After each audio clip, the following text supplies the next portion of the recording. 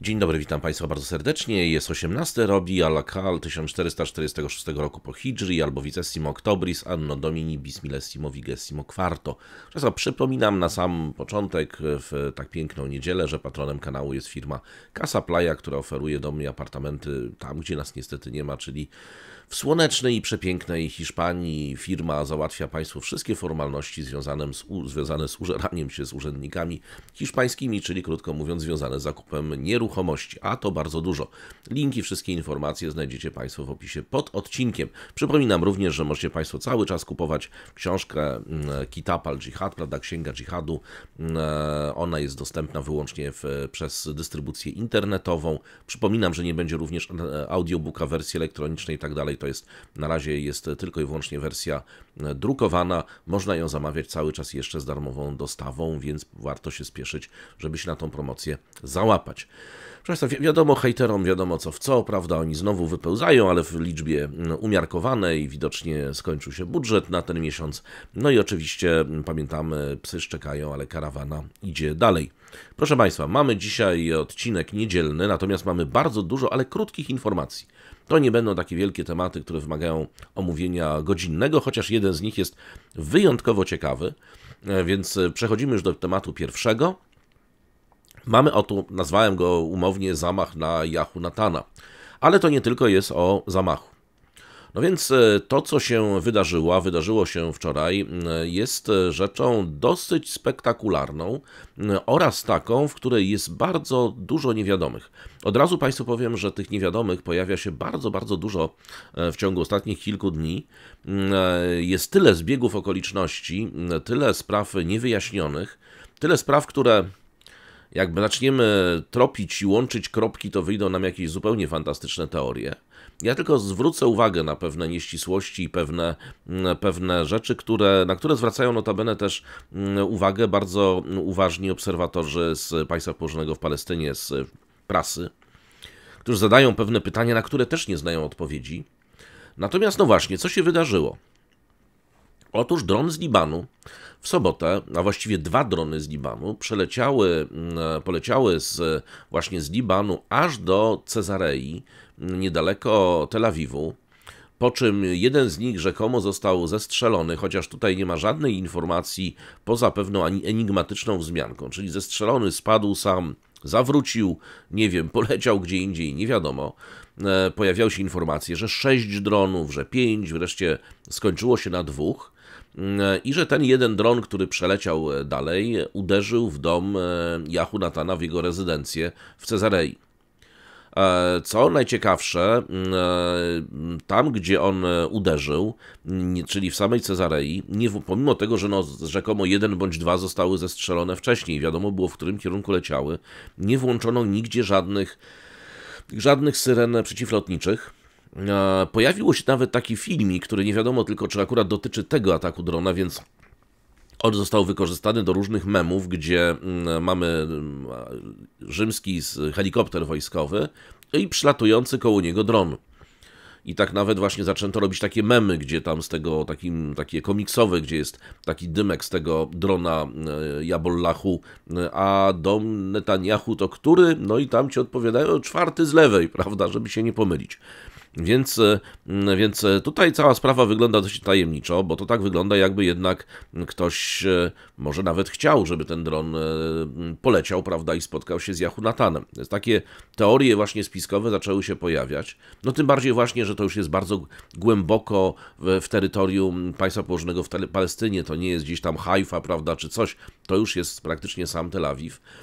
Co więcej, to, ta Cezarea też jest miejscem takim, gdzie no to są domy raczej ludzi bogatszych, więc e, w co by nie trafił, czy w kogo by nie trafił, gdyby trafił, to mógł mieć jakiś tam sukces polityczny, bądź też mogliby twierdzić jabollachowcy, że specjalnie w kogoś strzelili. No tutaj strzelili jeszcze w, w Jahu Natana, ale prasa rzymska zwraca uwagę na zupełnie inny aspekt, a mianowicie taki, że w ogóle o samym e, ataku, o tym, że doszło do zamachu, poinformowała prasa saudyjska jako pierwsza, ponieważ e, prasa, ponieważ cenzura wojskowa w państwie położonym w Palestynie zabroniła publikować jakiekolwiek informacje na ten temat. Odblokowała to na, tak naprawdę dopiero wtedy, kiedy Saudyjczycy, prawda, tam Al-Arabia i Al-Hadad, i jeszcze tam chyba inne, mm, inne później z Zatoki, mm, Zatoki Media. Od razu powiem, że mówię Saudyjczycy, ale tam bardzo często jest tak, że są udziałowcy i z Emiratów, i z, z, i z Egiptu nawet czasami, umownie Saudyjczycy i Emiratczycy, po prostu opublikowali mm, dosyć szczegółowe informacje, no i wtedy odblokowano tą cenzurę. Też nie pokazano, nie zgodzono się na pokazanie samego e, miejsca uderzenia. E, zaczęła się kampania dezinformacyjna mówiąca o tym, że spadł w pobliżu osiedla, spadł w pobliżu, trafił w coś innego. Ostatnia wersja jest taka, że, mm, że no uszkodził jednak dom Jahu Natana. I to wszystko były wersje jak gdyby wypuszczane w przestrzeni informacyjnej rzymskiej, co sugeruje, że tam się coś po prostu musiało dziać w tle, bo tyle sprzecznych informacji z tych samych źródeł, jak gdyby, czyli z tych źródeł e, wojskowych wysyłanych co chwila, rzadko się coś takiego zdarza. E, była też kwestia tego, czy w ogóle Jahunatan był w domu. Bardzo długo mówiono, że nic nie mówiono, a potem wreszcie powiedziano, że jego tam w ogóle nie było. Więc być może był.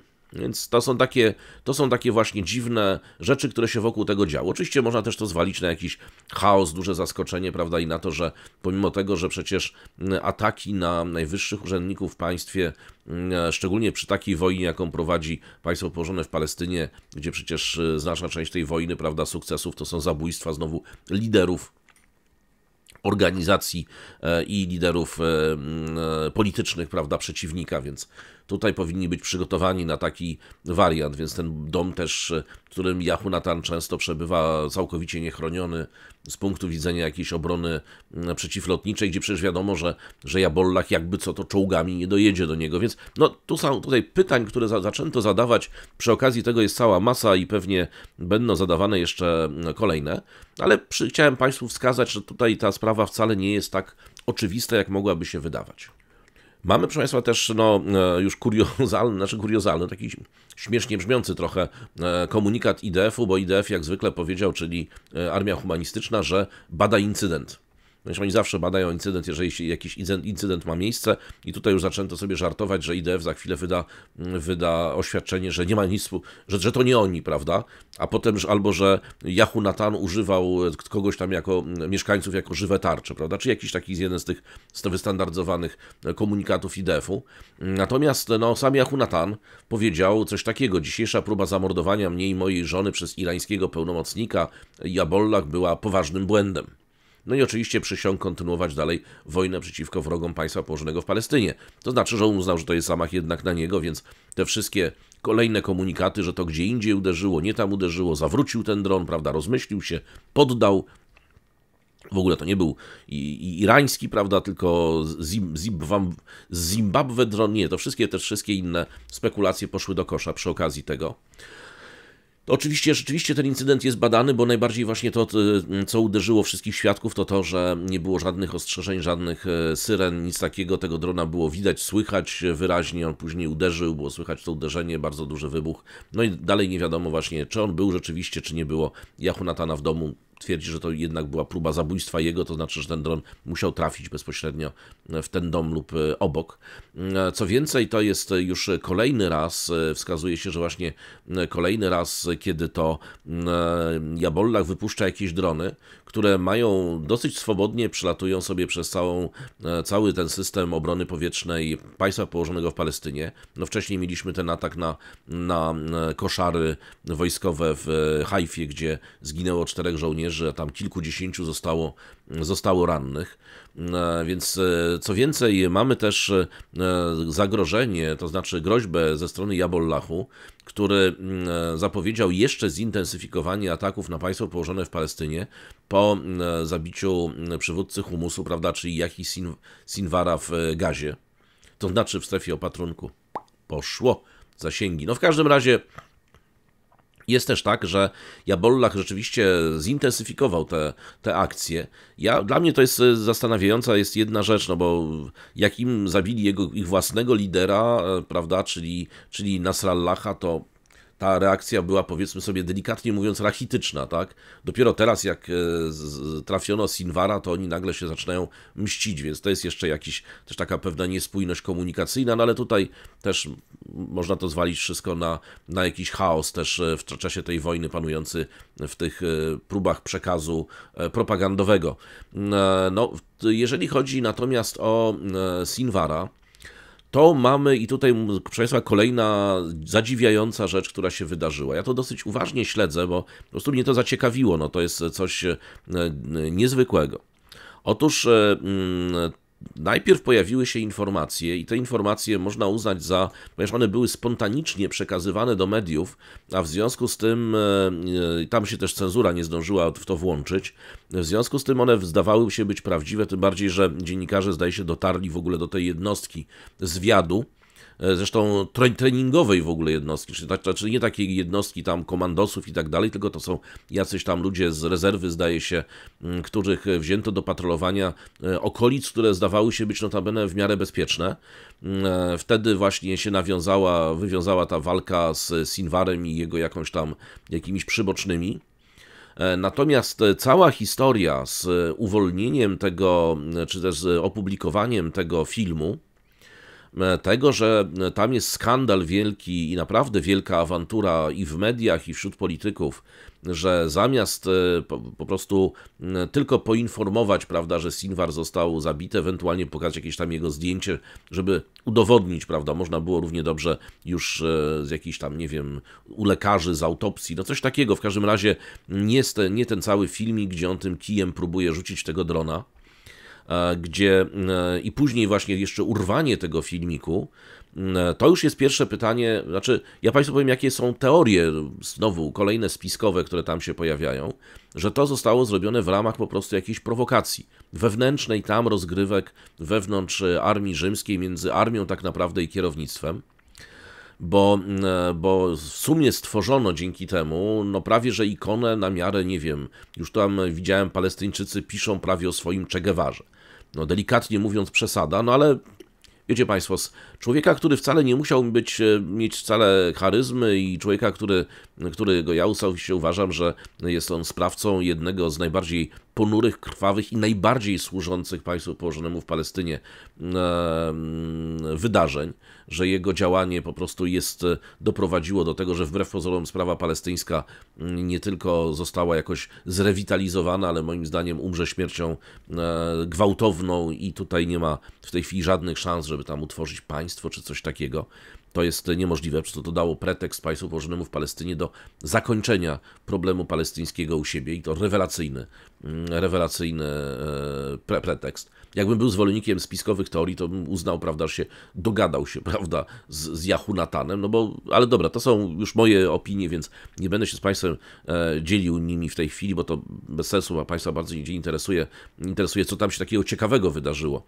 Otóż to, co się najciekawszego wydarzyło, to to, że mm, do wczoraj mm, obowiązująca wersja wyglądała w ten sposób, że właśnie żołnierze sobie postrzelali, mm, potem zostali tam ostrzelani, Sinwar ich jeszcze tam obrzucił granatami, czy on, jego ci, ci, ci, ci przyboczni, i po tej strzelaninie czołg otworzył ogień do tego budynku. Potem, jak już zrobił dostatecznie duże dziury w tym budynku, żeby mógł wlecieć dron, to wleciał dron, nakręcił to, co nakręcił. Potem przerwano tą transmisję z drona. Uwaga, to nie był dron samobójczy, to był zwiadowczy klasycznie, więc to nie jest tak, że on wybuchł. Dlaczego nie opublikowano tego, co się działo dalej, nie wiadomo. Widać jeszcze potem jedno wideo, które teraz się pojawiło z, też z drona, tylko z jakiegoś drona wiszącego wysoko nad tą ulicą, gdzie widać e, no, ten budynek ostrzeliwany z czołgu i to tak solidnie, tylko znowu nie wiadomo, czy to jest po tym, kiedy ten dron sobie poleciał, czy to jest ta pierwotna, zanim jak gdyby on wleciał przez tą dziurę.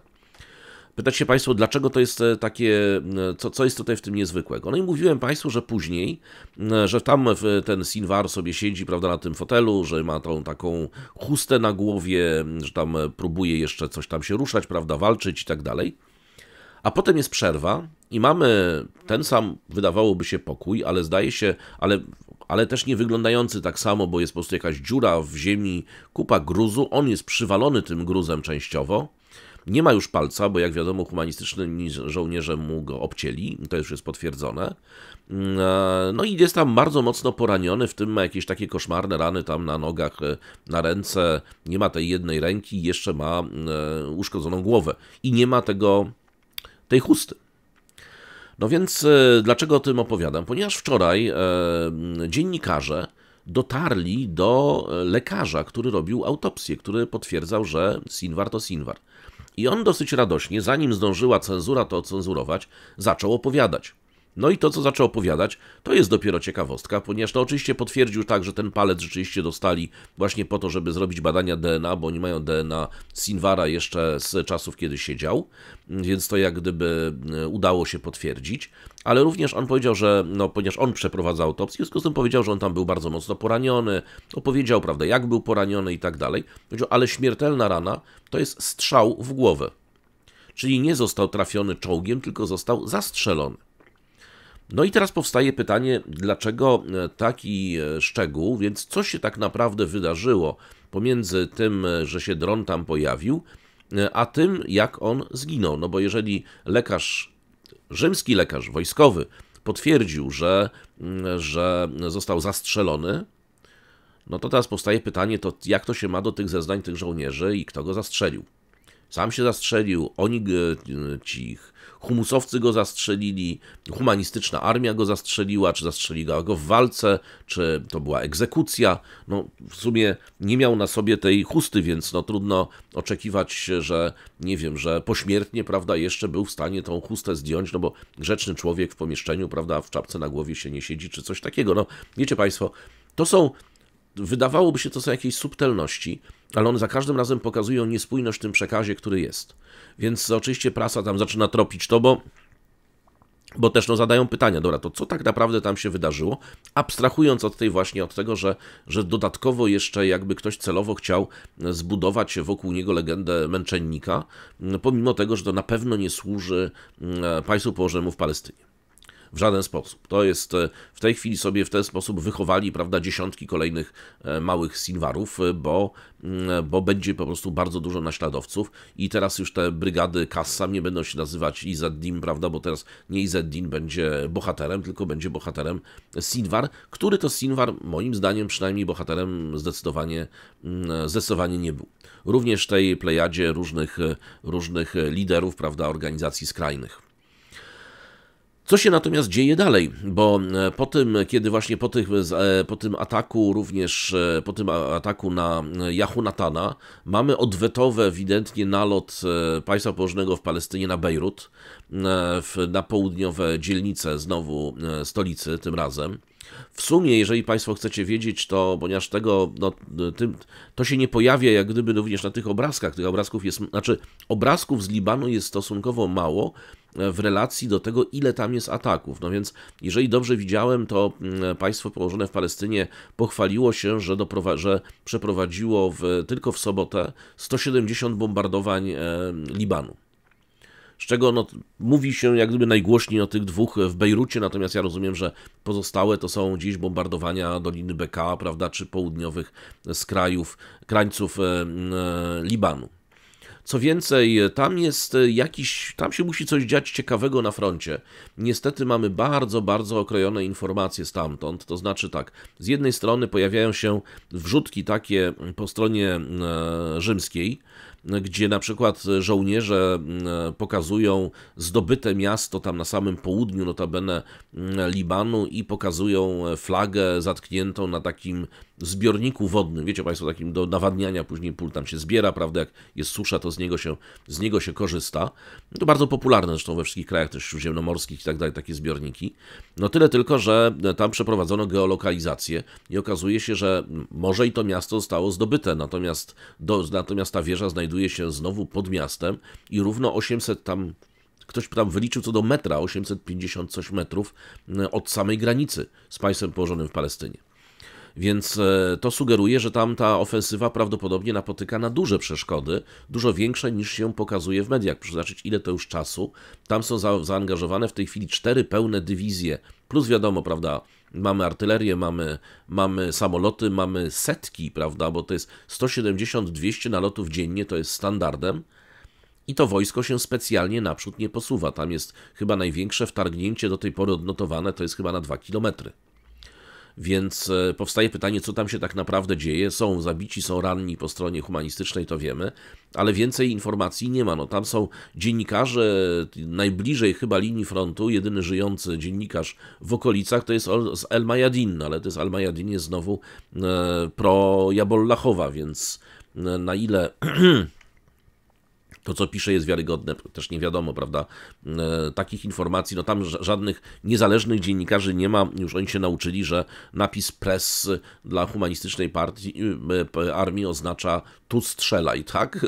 Więc e, i, i, i, tyle, więc nie mamy takich, no mamy właśnie tylko takie przesłanki dziwne, że właśnie tutaj mamy pochwalenie się zajęciem miejscowości, okazuje się, że miejscowość nie została zajęta. Wiemy o walkach partyzanckich typowo, prawda, czyli jakichś zasadzkach w domach, jakichś e, ładunkach e, wybuchowych podkładanych, prawda, i to najwięcej zresztą chyba ofiar zbiera po stronie, mm, po stronie humanistycznej armii i tak dalej. Wiadomo natomiast, że e, w sobotę również Jabollak wystrzelił w kierunku państwa położonego w Palestynie około 180 e, pocisków. Wiadomo, że przynajmniej kilka osób zostało, jeżeli nie kilkanaście, zostało rannych w różnych lokalizacjach. To nie tylko w lokali, ale głównie, wiecie Państwo, te dane znowu dotyczą najczęściej jakichś rakiet, które nie trafiły w coś.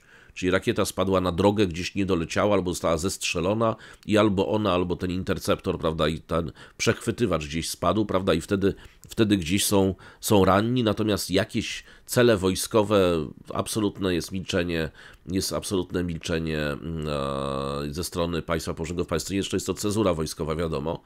Natomiast też nie ma żadnych zdjęć poza jakimiś takimi, wiecie Państwo, jest, e, pokazuje się za drzew dym. No, równie dobrze mogli zrobić to zdjęcie na Ukrainie. No, gdyby, nie, gdyby nie powiedzmy aura inna i trochę inne gatunki drzew, to mogłoby być, to być podmienialne. Czyli znowu żadnych dowodów na to, co trafiono i że trafiono i czy coś się przedarło, czy zestrzelono. Wszystko to jak na razie mm, nie wiadomo.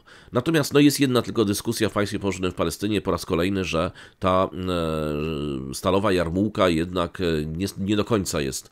No, oczywiście mówię umownie, bo to nie jest tylko przecież ten system Iron Dome, prawda? Oni mają tam wielowarstwową mm, osłonę, ale tak czy inaczej ta wielowarstwowa ochrona, zarówno te, ten system Arrow 3, który mają, jak i ten systemy właśnie znowu do zwalczania dronów, że są jednak do wymiany, a w każdym razie do jakiegoś zasadniczej reformy, bo one nie sprawdziły się w tej chwili w tych, w tych działaniach, które miały miejsce. Tak? No właśnie ten THAD, który Amerykanie im dostarczyli, to, jest, to nie jest tylko i wyłącznie propaganda, to jest jak gdyby pewna konieczność, bo dostrzegli jakby wady w tym systemie. Czy to jest e, spowodowane istotą systemu, czy błędami ludzkimi, nie wiadomo, prawda? To jest wszystko niestety ocenzurowane. No dobrze, proszę Państwa, co jeszcze warto powiedzieć? Warto jeszcze powiedzieć, bo ma, jest również bardzo dużo, pisze oczywiście o tych samych wydarzeniach w prasie rzymskiej. E, generalnie wskazują, że śmierć Sinwara powinna tak naprawdę rozpocząć w jakikolwiek sposób próby negocjowania z Jabollachem, a w każdym razie, znaczy nie z Jabollachem, tylko z Humusem, a przede wszystkim próbę odzyskania tych rzekomo stu jeszcze żyjących e, cywilów i żołnierzy, którzy są prze, przechowywani gdzieś tam jako zakładnicy w strefie opatrunku. Ale no właśnie, dokładnie to samo, co mówiłem przy poprzednim odcinku, kiedy się wypowiadali analitycy, no to teraz wypowiadają się już praktycy w państwie położonym w Palestynie, że nie ma, po pierwsze, nie wiadomo z kim rozmawiać. Rzekomo możliwym następcą, przynajmniej w strefie opatrunku po Sinwarze jest jego brat, no ale też nie wiadomo, czy z nim jest jakikolwiek kontakt, ktokolwiek ma.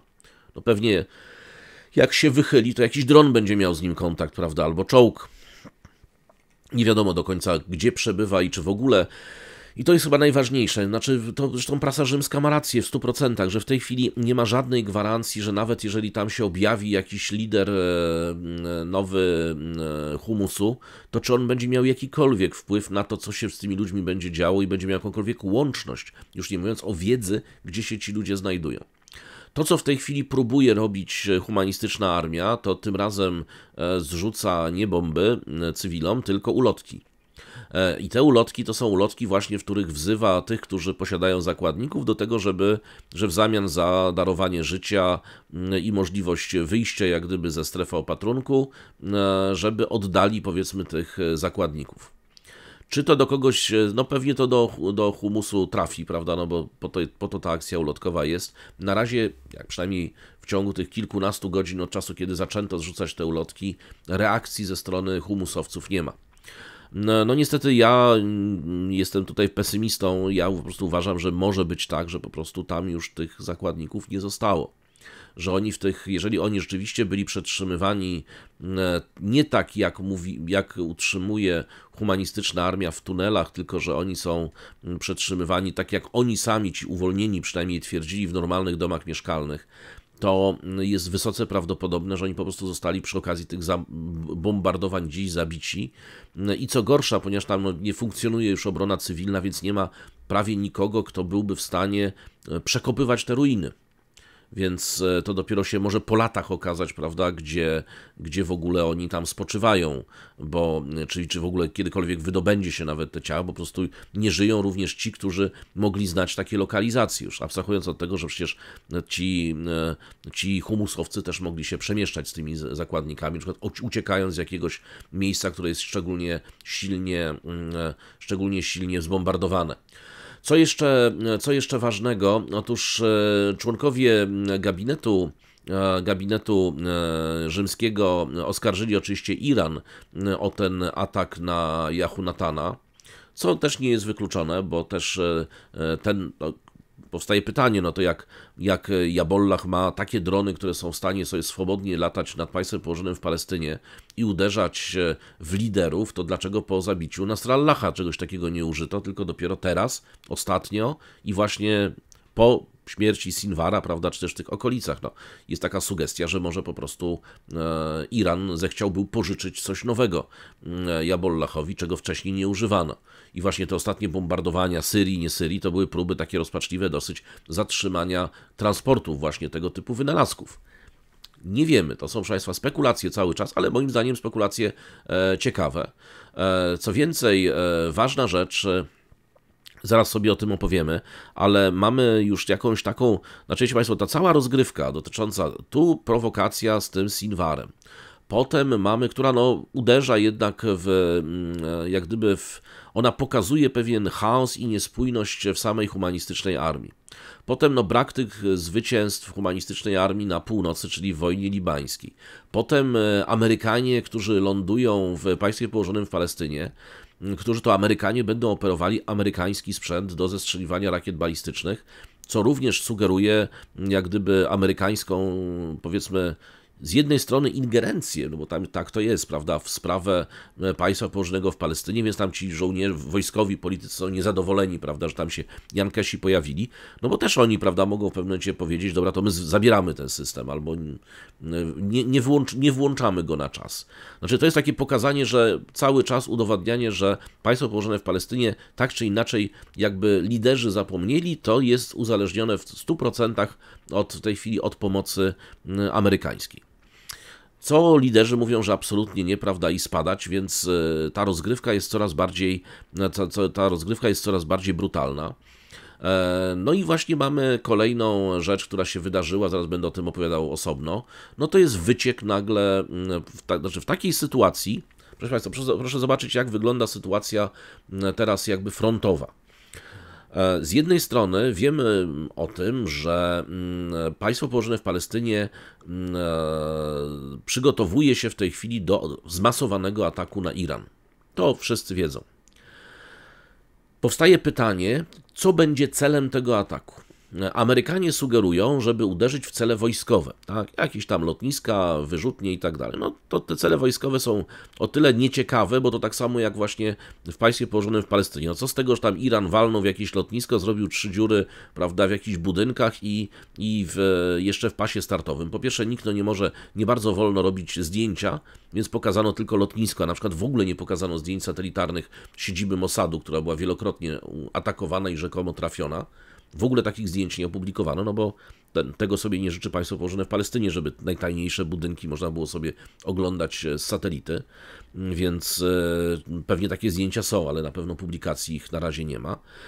Więc, więc no ale to są cele mało spektakularne, więc drugą stronę tak samo, no powiedzenie, że tam trafiliśmy i, i potem wiecie Państwo, potem jakiś osintowcy siedzą i mówią, że tak naprawdę super, że trafiliście baterię S300, tylko tam nie było baterii S300, tak, więc to no, to, to nie spełnia jak gdyby tej roli spektakularnego odwetu, tak, że tu odwinęliśmy się, prawda, rzuciliśmy na kolana. Z drugiej strony znakomicie wyglądają w, w telewizji e, mm, instalacje naftowe, tym bardziej, że jak się je trafi dobrze, to nawet z odległości 100 km ten ślad węglowy widać, a nawet z kosmosu. Więc e, to jest coś, co państwo położone w Palestynie jest dużym opodobaniem, na przykład bombarduje co jakiś czas w Jemenie te same zbiorniki już opróżnione, ale, ale dalej w nie walą, bo zawsze tam się coś, coś się da radę zapalić. Natomiast e, a proszę bardzo zobaczyć, był taki, był wielki rajd B2, prawda, na te instalacje e, Huti i tam żadnego zdjęcia z tego nie ma nawet, ani dymów, ani dziur, prawda, w ziemi i tak dalej. No może ktoś opublikuje, może się zdecydują, tylko że Amerykanie przecież nie pokażą swoich tajnych zdjęć z satelity, bo no, one dostarczą też informacji, jakiej rozdzielczości ma ten satelita i tak dalej, więc no krótko mówiąc, to znowu, instalacje naftowe są, są super do zbombardowania, na pewno, co więcej, e, uderzenie w nie na 100% e, mocno uderzy Iran, bo Iran jednak cały czas e, bazuje w swoich wszystkich kalkulacjach na eksporcie ropy, zresztą w dużej mierze do Chin. Ale mamy tutaj dwa problemy. Pierwszy problem jest taki, właśnie to są Amerykanie. Amerykanie nie chcą, żeby państwo położone w Palestynie bombardowało, bombardowało zasoby ropy e, irańskie, bo to, jak uważają, w nieuchronny sposób doprowadzi do wzrostu cen paliwa. No więc e, amerykański wyborca może się nie znać na Iranach, państwach położonych w Palestynie, Palestyńczykach, prawda, czy innych Irakach. Ale to, ile galon benzyny kosztuje na stacji, zna się na pewno. I jeżeli e, potem się jeszcze na przykład Trump powie, no proszę bardzo, błędna polityka zagraniczna Bidena doprowadziła do tego, że macie droższe paliwo na stacjach. No to, to tu to wbrew pozorom może wkurzyć ludzi bardziej niż tam jakaś wielka wojna atomowa na drugim końcu świata. Więc e, to jest drugi problem. Poza tym, proszę Państwa, jest jeszcze jeden problem, e, o którym mało się mówi. E, ja próbowałem znaleźć ten tekst tej wypowiedzi, niestety on jest gdzieś tam zakopany, no ale go do pewnie do poniedziałku mi się uda jakoś wykopać, bo to jest niestety trzeba przeszukiwać chińskie źródła, a Chińczycy, jak Państwo wiecie, mają u siebie blokadę Google'a, w związku z tym jest ciężko wyszukiwać po prostu via Google chińskie dokumenty, ale to jest przed kilku lat taka wypowiedź ministra spraw zagranicznych bodaj, który powiedział, ponieważ tam część tych, e, część tych instalacji naftowych jest po prostu własnością chińskich firm. I tam się pojawił taki tekst, że próba zbombardowania, bo przy okazji którejś kolejnej właśnie awantury i gruźb ataku na Iran, i wtedy Chińczycy powiedzieli coś takiego, że próba ataku na te rafinerie i na te instalacje będące własnością Chin będzie uznawana tak jak atak na Chińską Republikę Ludową. I czy to jest dalej w mocy niejako utrzymane, czy to po prostu fajnie wtedy zabrzmiało i zostało tylko tak sobie powiedziane, tego nie wiemy, no ale tekst jako taki, prawda, pokazuje, że ten atak może mieć inne jeszcze reperkusje niż tylko i wyłącznie tam, e, powiedzmy, zadymienie, czyli wyrobienie, wyrobienie norm emisji, e, emisji gazów cieplarnianych za, za całą Europę, prawda, przy okazji dwuletnich, przy okazji jednego, jednego bombardowania. Więc Tutaj mamy, mamy ten aspekt właśnie wzrostu cen oraz ewentualnej niewiadomego zachowania Chin. No, zapowiedź oczywiście brzmiała groźnie, prawie tak jakby te rafinerie miały artykuł 5, prawda, podpisany z Chinami. Znaczy odpowiednik artykułu 5 oczywiście natowskiego. E, to jest druga możliwość, ale jest jeszcze trzecia i trzecia możliwość mówi o zbombardowaniu o zbombardowaniu i to jest coś, czego Amerykanie mówią, żeby absolutnie tego nie robiono oraz Rosjanie ostatnio powiedzieli, żeby państwo położone w Palestynie się puknęło w głowę i tego nie robiło. To znaczy chodzi o bombardowanie instalacji nuklearnych e, irańskich. Czyli, krótko mówiąc, reaktorów atomowych, tych miejsc, gdzie tam są, są niby te wirówki, prawda, i tak dalej. Abstrahując od tego, że oczywiście jak tam trafią w odpowiedni sposób, to mogą doprowadzić do jakiegoś skażenia, prawda, no ale na szczęście chyba większość tych akurat instalacji nie znajduje się w centrach miast. Natomiast, e, że odpowiedź Iranu może być wtedy potężna, bo Iran prawdopodobnie wtedy już na poważnie odpowie wszystkim to, co, co ma, uderzając w instalacje nuklearne rzymskie. A jak Państwo widzieliście, no powiedzmy rzymska obrona przeciwlotnicza jest dosyć bezradna, jeśli chodzi o, o zestrzeliwanie tych rakiet, rakiet irańskich.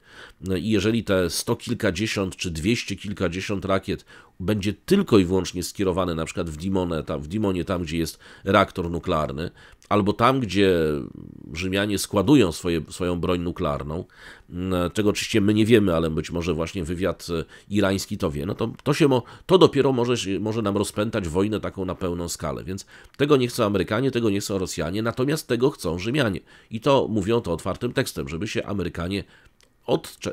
No, poszli sobie szybko, prawda, w dowolnym kierunku, e, najlepiej w kierunku najbliższego drzewa. Więc, e, więc tak mniej więcej to wygląda. E, I proszę zobaczyć, no mamy taką sytuację. I nagle w tej sytuacji pojawia nam się przeciek z planów ataku i z monitoringu, tak naprawdę. To są pierwsze zajawkowe dopiero dokumenty z tajnych dokumentów amerykańskich, pokazujących, jak Amerykanie notabene szpiegują swojego sojusznika czyli właśnie państwo położone w Palestynie. Nie dowierzając mu, bardzo słusznie, prawda, to już udowodniono, że, że nie należy. Natomiast e, proszę zobaczyć, e, jaki to jest zbieg okoliczności. I tak wiecie Państwo, jak się zestawia te wszystkie kropki, to każdy tak się e, zastanowi, no dobra, ten zamach niby na Jahunatana. Ta zadziwiająca rzecz z Sinwarem. No, nieustające oczywiście informacje o tym, że tam wewnątrz tego establishmentu wojskowego armia, Mossad i Shin Bet oraz Joachim Galant, prawda, to jest jedna drużyna, a druga drużyna to jest, to jest Yahu Natan, Smotrich, Ben Świr, prawda, i tym podobni. Belzebub Smotrich, jak się Państwu podobało, to już pozostańmy przy tym.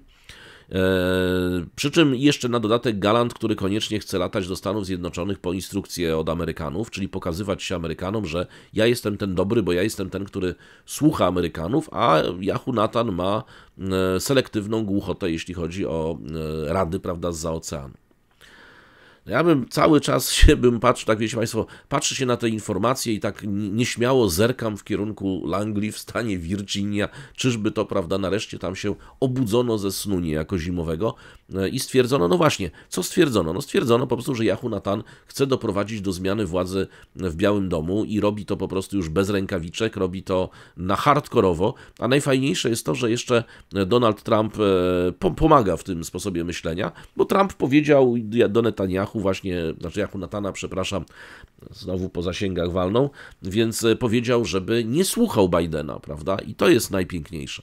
Więc to już idzie to jak gdyby otwartym tekstem, prawda, że jest to, że cała ta wojna staje się też elementem, znaczy ona zawsze była, ale teraz już staje się jawnie e, elementem po prostu kampanii wyborczej w, w USA. No dobrze, w każdym razie Najciekawsze to jest to, że właśnie tak sobie, właśnie mogę Państwu powiedzieć, że tak z, z ostatniej chwili wręcz, bo mam podgląd w tej chwili na prasę rzymską i teraz już jest nie to, że ten dron uderzył e, obok domu e, Jahunatana czy w pobliżu, tylko jest e, taki tekst, przynajmniej, że Jahunatan przynajmniej do czasu zniszczenia jego domu w Cezarei w, w wyniku ataku drona. Teraz już jest wersja, że zniszczony został ten dom, chociaż więc, więc ten, ten dron się przybliża, tak? Najpierw okolica, potem no w coś tam uderzył, ale, fra, ale trochę został dom uszkodzony przez jakieś tam fragmenty. Teraz się okazuje, że mu zniszczono ten dom. Faktem jest, że prasa rzymska, to też żebyście Państwo wiedzieli, ponieważ Jahunatan jest znany z jakiegoś tam naciągania na, na odszkodowania. W związku z tym oczywiście wszyscy sobie tam żartują, że, że to jest po prostu ustawka, bo on z ubezpieczenia sobie dwa razy większe odbuduje, czy coś takiego. Ja akurat nie, nie, niespecjalnie śledziłem te jego, te jego przekręty finansowe, no ale tam Rzymianie, którzy to czytają, wiedzą, prawda, i tam się dosyć dobrze akurat tą częścią bawią. Abstrahując od tego, że, że powstaje pytanie, czy jakby tam go trafili, to czy przypadkiem pół narodu by, nie wiem, e, tym celowniczym z Jabollachu jakichś orderów nie przyznało, bo zdaje mi się, Jahunatan naprawdę się cieszy bardzo niewielką e, w tej chwili, niewielkim sentymentem. No ale mamy, proszę Państwa, w tej chwili tak jak e, mamy. Mamy natomiast jeszcze jedna rzecz, jedną rzecz, otóż w tym samym czasie mamy naciski amerykańskie, które doprowadziły, ale te naciski zostały wzięte na poważnie. Wiecie Państwo, bo to, jest, to nie były naciski polityczne na zasadzie panowie, mm, e, przestańcie e, blokować, e, czy tam przestańcie głodzić tych mieszkańców w strefie opatrunku, bo coś, prawda, bo to wartości ogólnoludzkie, humanitarne i tak dalej, bo to akurat ten tekst na pewno do Rzymian tam nie przemówi. Natomiast przemówił jeden bardzo prosty, że zgodnie z ustawą my mamy obowiązek po prostu wstrzymać dostawy i tyle i my nie będziemy z własnym prawem walczyć, tym bardziej w czasie zmiany, gdzie jakby jeszcze ten antrament nie wyschnie, a już prokurator, prawda, federalny będzie brał te nasze kwity i sprawdzał, czy myśmy przypadkiem nie złamali w otwarty sposób prawa amerykańskiego. I tam nie dostaniemy znowu tam 700 lat, prawda, z prawem do zwolnienia warunkowego po 250, więc więc krótko mówiąc, chyba to, albo taki bardzo właśnie suchy, sucho, sucho urzędniczy charakter tej ostatniej informacji, że jeżeli nie odblokują pomocy humanitarnej, to my nie mamy wyjścia, ustawa jest ustawa, blokujemy wam dostawy no głównie e, bomb, prawda, które są niezbędne, bo przecież ilu tych jeszcze cywilów tam nie zostało, e, a po drugie również nie wiadomo, czy te interceptory, prawda, które rzekomo zaczęły się kończyć już. Państwu położonemu w Palestynie, włącznie z tym, co dostali od Amerykanów. Więc to spowodowało nagle, że Natan wpuścił, e, czy kazał wpuścić, bo to czy wpuścił, to jeszcze nie wiemy, 280 e, ciężarówek do strefy opatrunku. Więc to jest jak gdyby pierwsza rzecz, która się e, wydarzyła. No ale z drugiej strony mamy jeszcze drugą rzecz, czyli w tym samym czasie atak w, w Jabalii, i jakieś tam znaczące, że tak ładnie powiem, algorytmowo depopulacje i to depopulację znowu kobiet i dzieci. Zresztą no, no, możecie Państwo, no, oczywiście wiadomo, tutaj na YouTubie w ogóle e, trzeba unikać pokazywania jakichkolwiek zdjęć, natomiast, bo YouTube się potrafi przyczepić do nich, e, nawet jak się ma wszystkie prawa, prawda, albo się jest wręcz autorem, to to, to YouTube i tak może się, no lubi to robić w każdym razie, to i to nałogowo.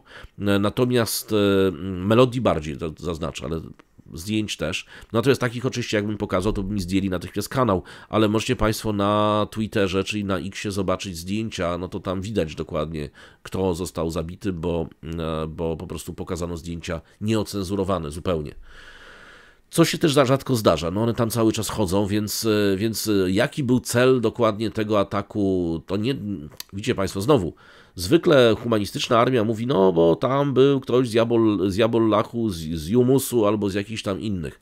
A teraz powiedziała, że oni w ogóle nic nie wiedzą o tym bombardowaniu.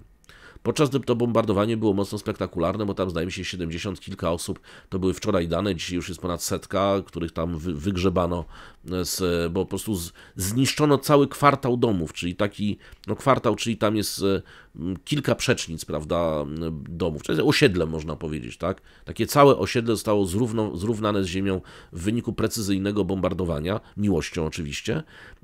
No i humanistyczna armia mówi, że ale my nic o tym nie wiemy to jest nowa jakość, bo do tej pory raczej się szczycono tym, że wszystko tam było super cudownie, bo y, rzekomo jakiś humusowiec tam był widziany 3 lata temu o 16.40, jak kupował papierosy w kiosku. Dobra, proszę Państwa, kończymy w tej chwili temat e, humanistycznego zamachu na, znaczy, przepraszam, e, nie wiem, jabollachowego zamachu prawdopodobnie na, na Yahoo Natana, choć nigdy nie wiadomo. Ktoś się na pewno zamachnął, z jakiegoś powodu dron doleciał, nie włączyły się alarmy, trafił blisko, coraz bliżej, coraz bliżej, a w ostatnich informacjach już w sam dom.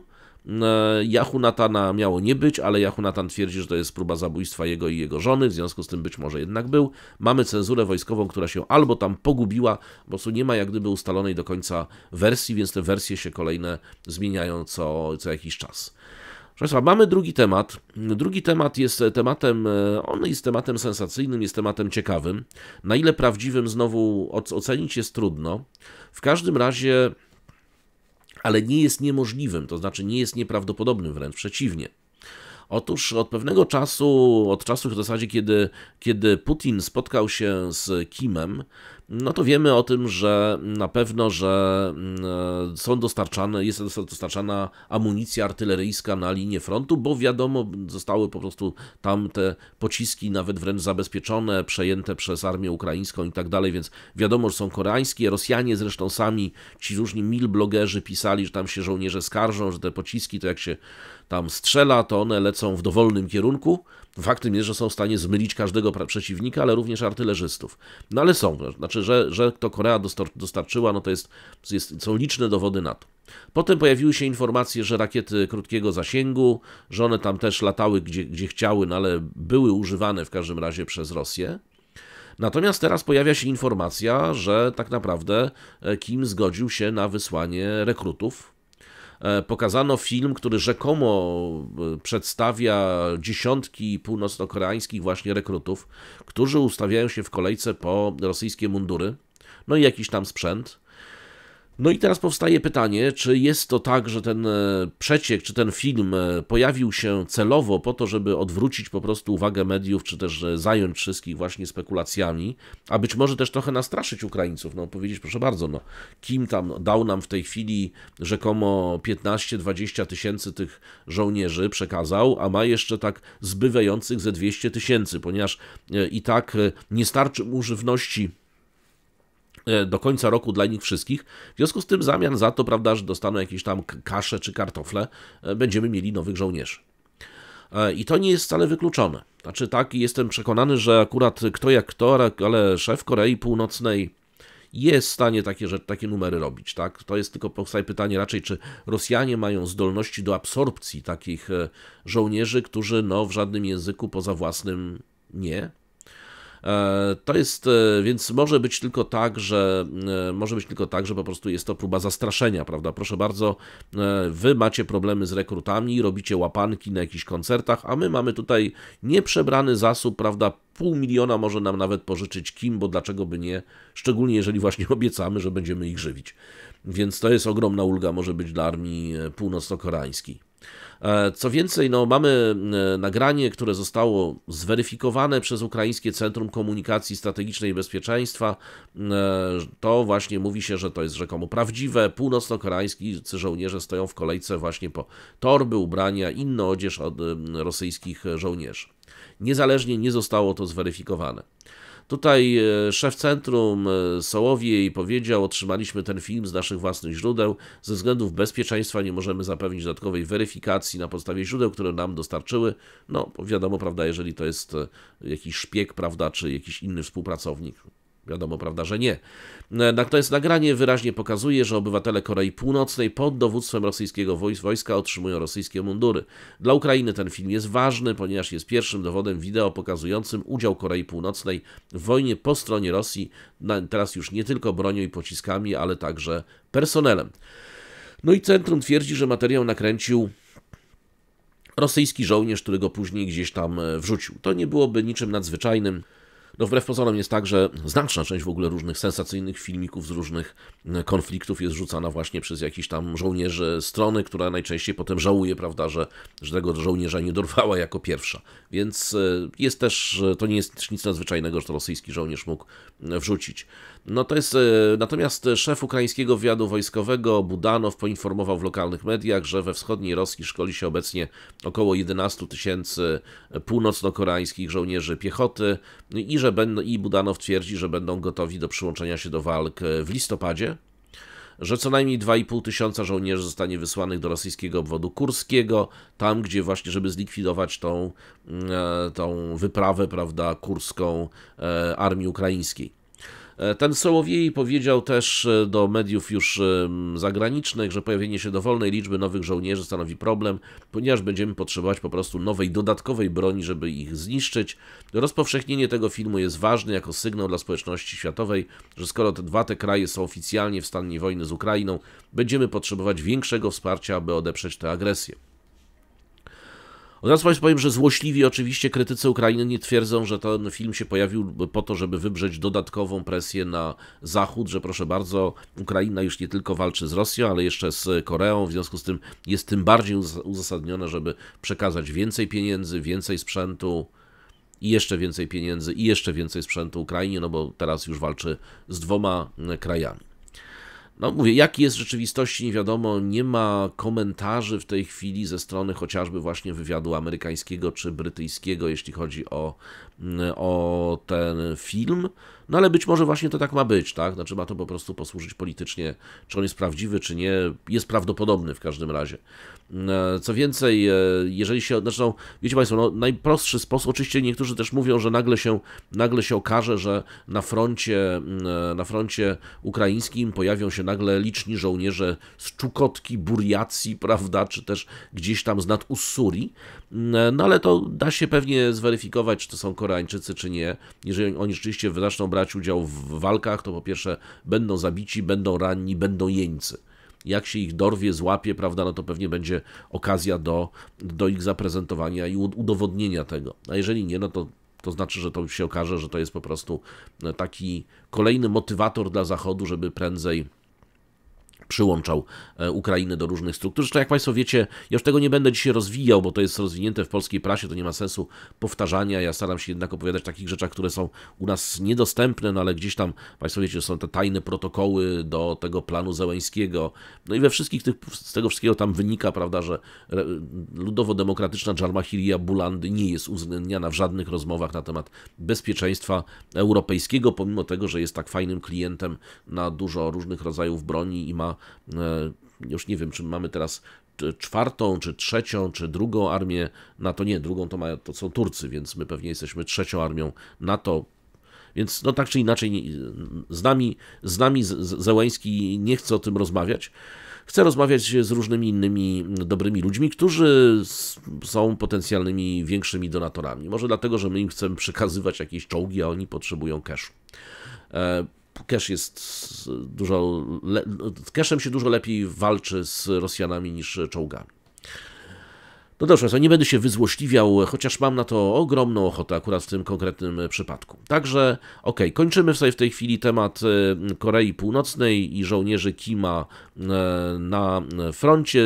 No, mówię, zobaczymy to prędko się wyjaśni, prawda, czy oni są, czy nie są, prawda, czy, czy przestraszyli się publikacji i zawrócili w liczbie 11 tysięcy, będzie wiadomo. Dobrze, proszę Państwa, mamy kolejny, kolejny temat. Kolejny temat to jest wizyta Putina nad G20.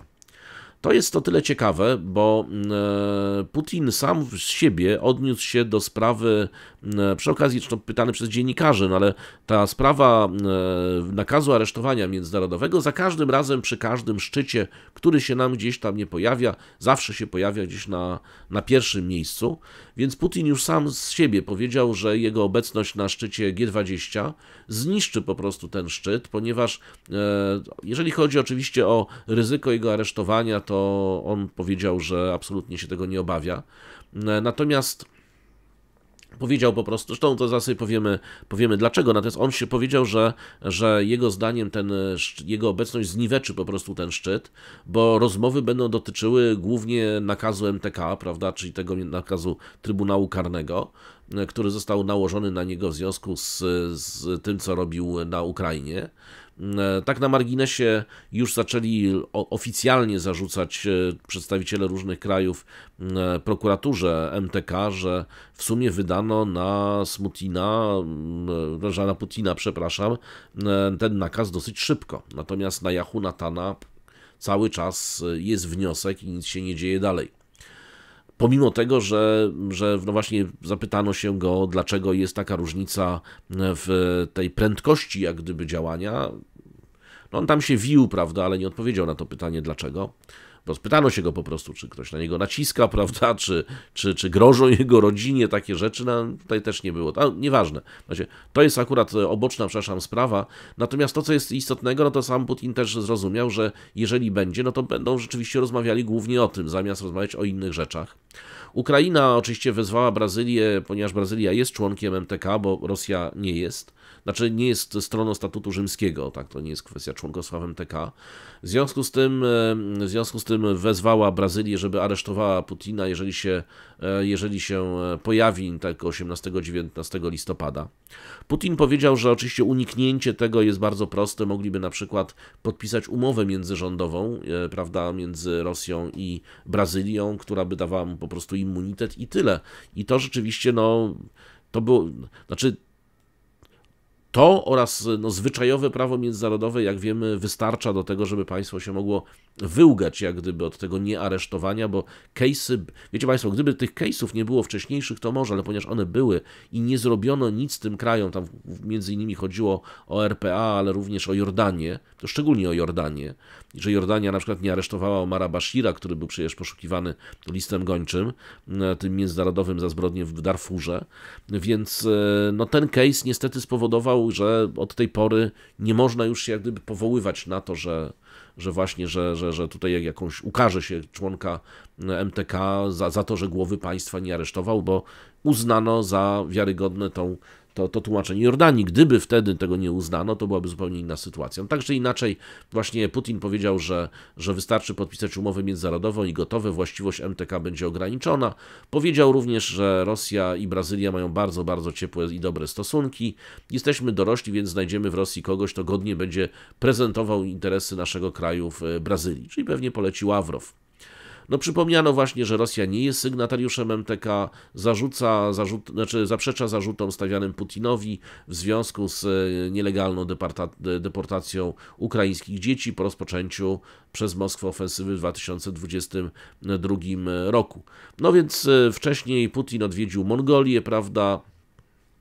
W Mongolia też jest właśnie członkiem MTK e, i Mongolia go absolutnie nie, nie zatrzymała ale z drugiej strony nie był na takich na spotkaniach głównie właśnie w, w z BRICS-em, nie był właśnie w RPA, i generalnie obawia, znaczy wielu wskazywało, że to jest dla Putina zawsze loteria. Znaczy może być tak, że ktoś, e, że ktoś się jednak zdecyduje go zatrzymać. Co prawda Rosja już zagroziła automatycznie wojną takim krajem i tak dalej, no ale jak to będzie gdzieś właśnie RPA czy Brazylia, to e, zdolności do zro zrobienia czegokolwiek, jakiejkolwiek krzywdy tym państwom przez Rosję są delikatnie mówiąc ograniczone. To jest tak, że Putin e, również e, ważna rzecz a propos właśnie tego szczytu BRICS-u, e, to Putin odniósł się do tego, co mówił Zełański, który wygłosił sprawę, właśnie powiedział o tej sprawie dotyczącej broni nuklearnej dla Ukrainy. Ja zresztą mówiłem o tym w kolejnym odcinku, prawda, mówiąc o takim właśnie szantażu trochę atomowym Załęskiego, bo Załęski powiedział, że albo będziemy mieli broń atomową, albo nas przyjmiecie do NATO. Oczywiście my chcemy do NATO, wybraliśmy NATO, ale pamiętajcie, że możemy sobie taką bombę sami skonstruować. Więc tutaj Putin powiedział e, coś takiego, powiedział, że wypowiedź Załęskiego jest niebezpieczną prowokacją, każdy krok w tym kierunku spotka się z odpowiednią reakcją i powiedział też, że Rosja nie pozwoli na to bez względu na wszystko. No tak powiedział, tak? Powiedział też, że widzi rolę Rosji w poszukiwaniu kompromisów w konflikcie na Bliskim Wschodzie, bo to jest jeszcze kolejne. Powiedział, że jesteśmy w kontakcie z państwem położonym w Palestynie. To akurat wiemy, bo te działania są ewidentnie uzgadniane pomiędzy Rosją a państwem położonym w Palestynie. Te wycofywanie wojsk, niewłączanie systemów obrony pelot i tak dalej, czyli obrony powietrznej, to jest po prostu już standardem. E, więc powiedział, że jesteśmy w kontakcie z państwem rzymskim, ale jesteśmy również w kontakcie z Iranem. Mamy pełne zaufania relacje z dwoma stronami, uwaga. Bardzo chcielibyśmy, aby ta niekończąca się wymiana ciosów została w pewnym momencie przerwana. Jeśli będzie takie zapotrzebowanie, jesteśmy gotowi zrobić wszystko, co w naszej mocy, w kontakcie z obiema stronami, aby pomóc w wywiązywaniu się z takich obowiązań. To zobowiązań, to powiedział Putin. Także mamy Putina, który nie pojedzie na szczyt BRICS-u, nie, nie pojedzie do Brazylii, bo żeby się to nie przerodziło, prawda, w cyrk i próby jego aresztowania. Wyśle pewnie Ławrowa. Powiedział, że Rosja nie dopuści do, do tego, żeby Ukraina zdobyła jednak broń nuklearną. Powstaje pytanie niby jak. I co, I co się za tym kryje? No, zakładamy, że, że, że będzie starała się nie dopuścić. E, no i ostatnia rzecz właśnie jest e, taka, że e, zaproponował jakąś mediację między Iranem i państwem położonym w Palestynie. Po raz pierwszy naprawdę od bardzo dawna, przyznając, że ma bardzo dobre relacje z państwem położonym w Palestynie. To wszyscy wiedzą od początku tego konfliktu. Przypomnijmy, że państwo położone w Palestynie nie przystąpiło do sankcji przeciwko Rosji. Te sankcje, które musiało wprowadzić, to były sankcje międzynarodowe, amerykańskie, które po prostu bardziej by dotknęły niektóre instytucje finansowe e, rzymskie niż cokolwiek innego. E, I one byłyby jakby tak z automatu wprowadzone, więc ale żadnych własnych sankcji, żadnego przyłączenia się do tego sankcji wielkich zachodnich absolutnie e, tutaj nie było. No dobrze, proszę Państwa, mamy kolejny temat. Kolejny temat jest związany z poprzednimi. E, już o nim wspominałem, ale teraz musimy powiedzieć więcej. Otóż mamy wyciek tajnych dokumentów Pentagonu. Otóż e, te dokumenty z Pentagonu, które wyciekły, sugerują, że e, właśnie z nich wynika bezpośrednio, że państwo położone w Palestynie przygotowuje się do uderzenia na Iran. Znaczy, do tej pory to wiemy niby z wypowiedzi, no ale teraz mamy to jakby potwierdzone przez wywiad amerykański i to jego e, tajne dokumenty. Urzędnicy amerykańscy próbują ustalić źródło wycieku. To źródło wycieku opisuje ćwiczenia wojskowe, rozmieszczenie broni oraz to, jak skuteczne użycie tej broni może być w tym konflikcie. Te dokumenty zresztą znajdziecie Państwo u mnie na Twitterze, więc no nie będę ich tutaj znowu publikował, bo nie wiadomo jak YouTube do tego podejdzie, więc na wszelki wypadek macie Państwo na Twitterze, one wyciekły. Tam macie zresztą Państwo źródło, bo tam jest też podane z którego konta na Telegramie, które nie wiem czy jeszcze funkcjonuje, dzisiaj rano nie sprawdzałem, no ale tak czy inaczej pojawiły się. E, I co więcej, e, to co jest najbardziej chyba istotne, to jest zastanawianie się, czy to są jedyne czy pierwsze. E, bo to jest tak, że tak naprawdę to są ściśle, na pewno są ściśle tajne. CNN pytała się już w Pentagonie i potwierdzono, że to są autentyczne dokumenty i że trwa śledztwo w sprawie tego wycieku. Te dokumenty opisują najnowsze zdjęcia satelitarne rzymskich przygotowań wojskowych do ataku na Iran. No i tu również one wyrażają jak gdyby intensywne obawy Amerykanów dotyczące planów państwa położonego w Palestynie.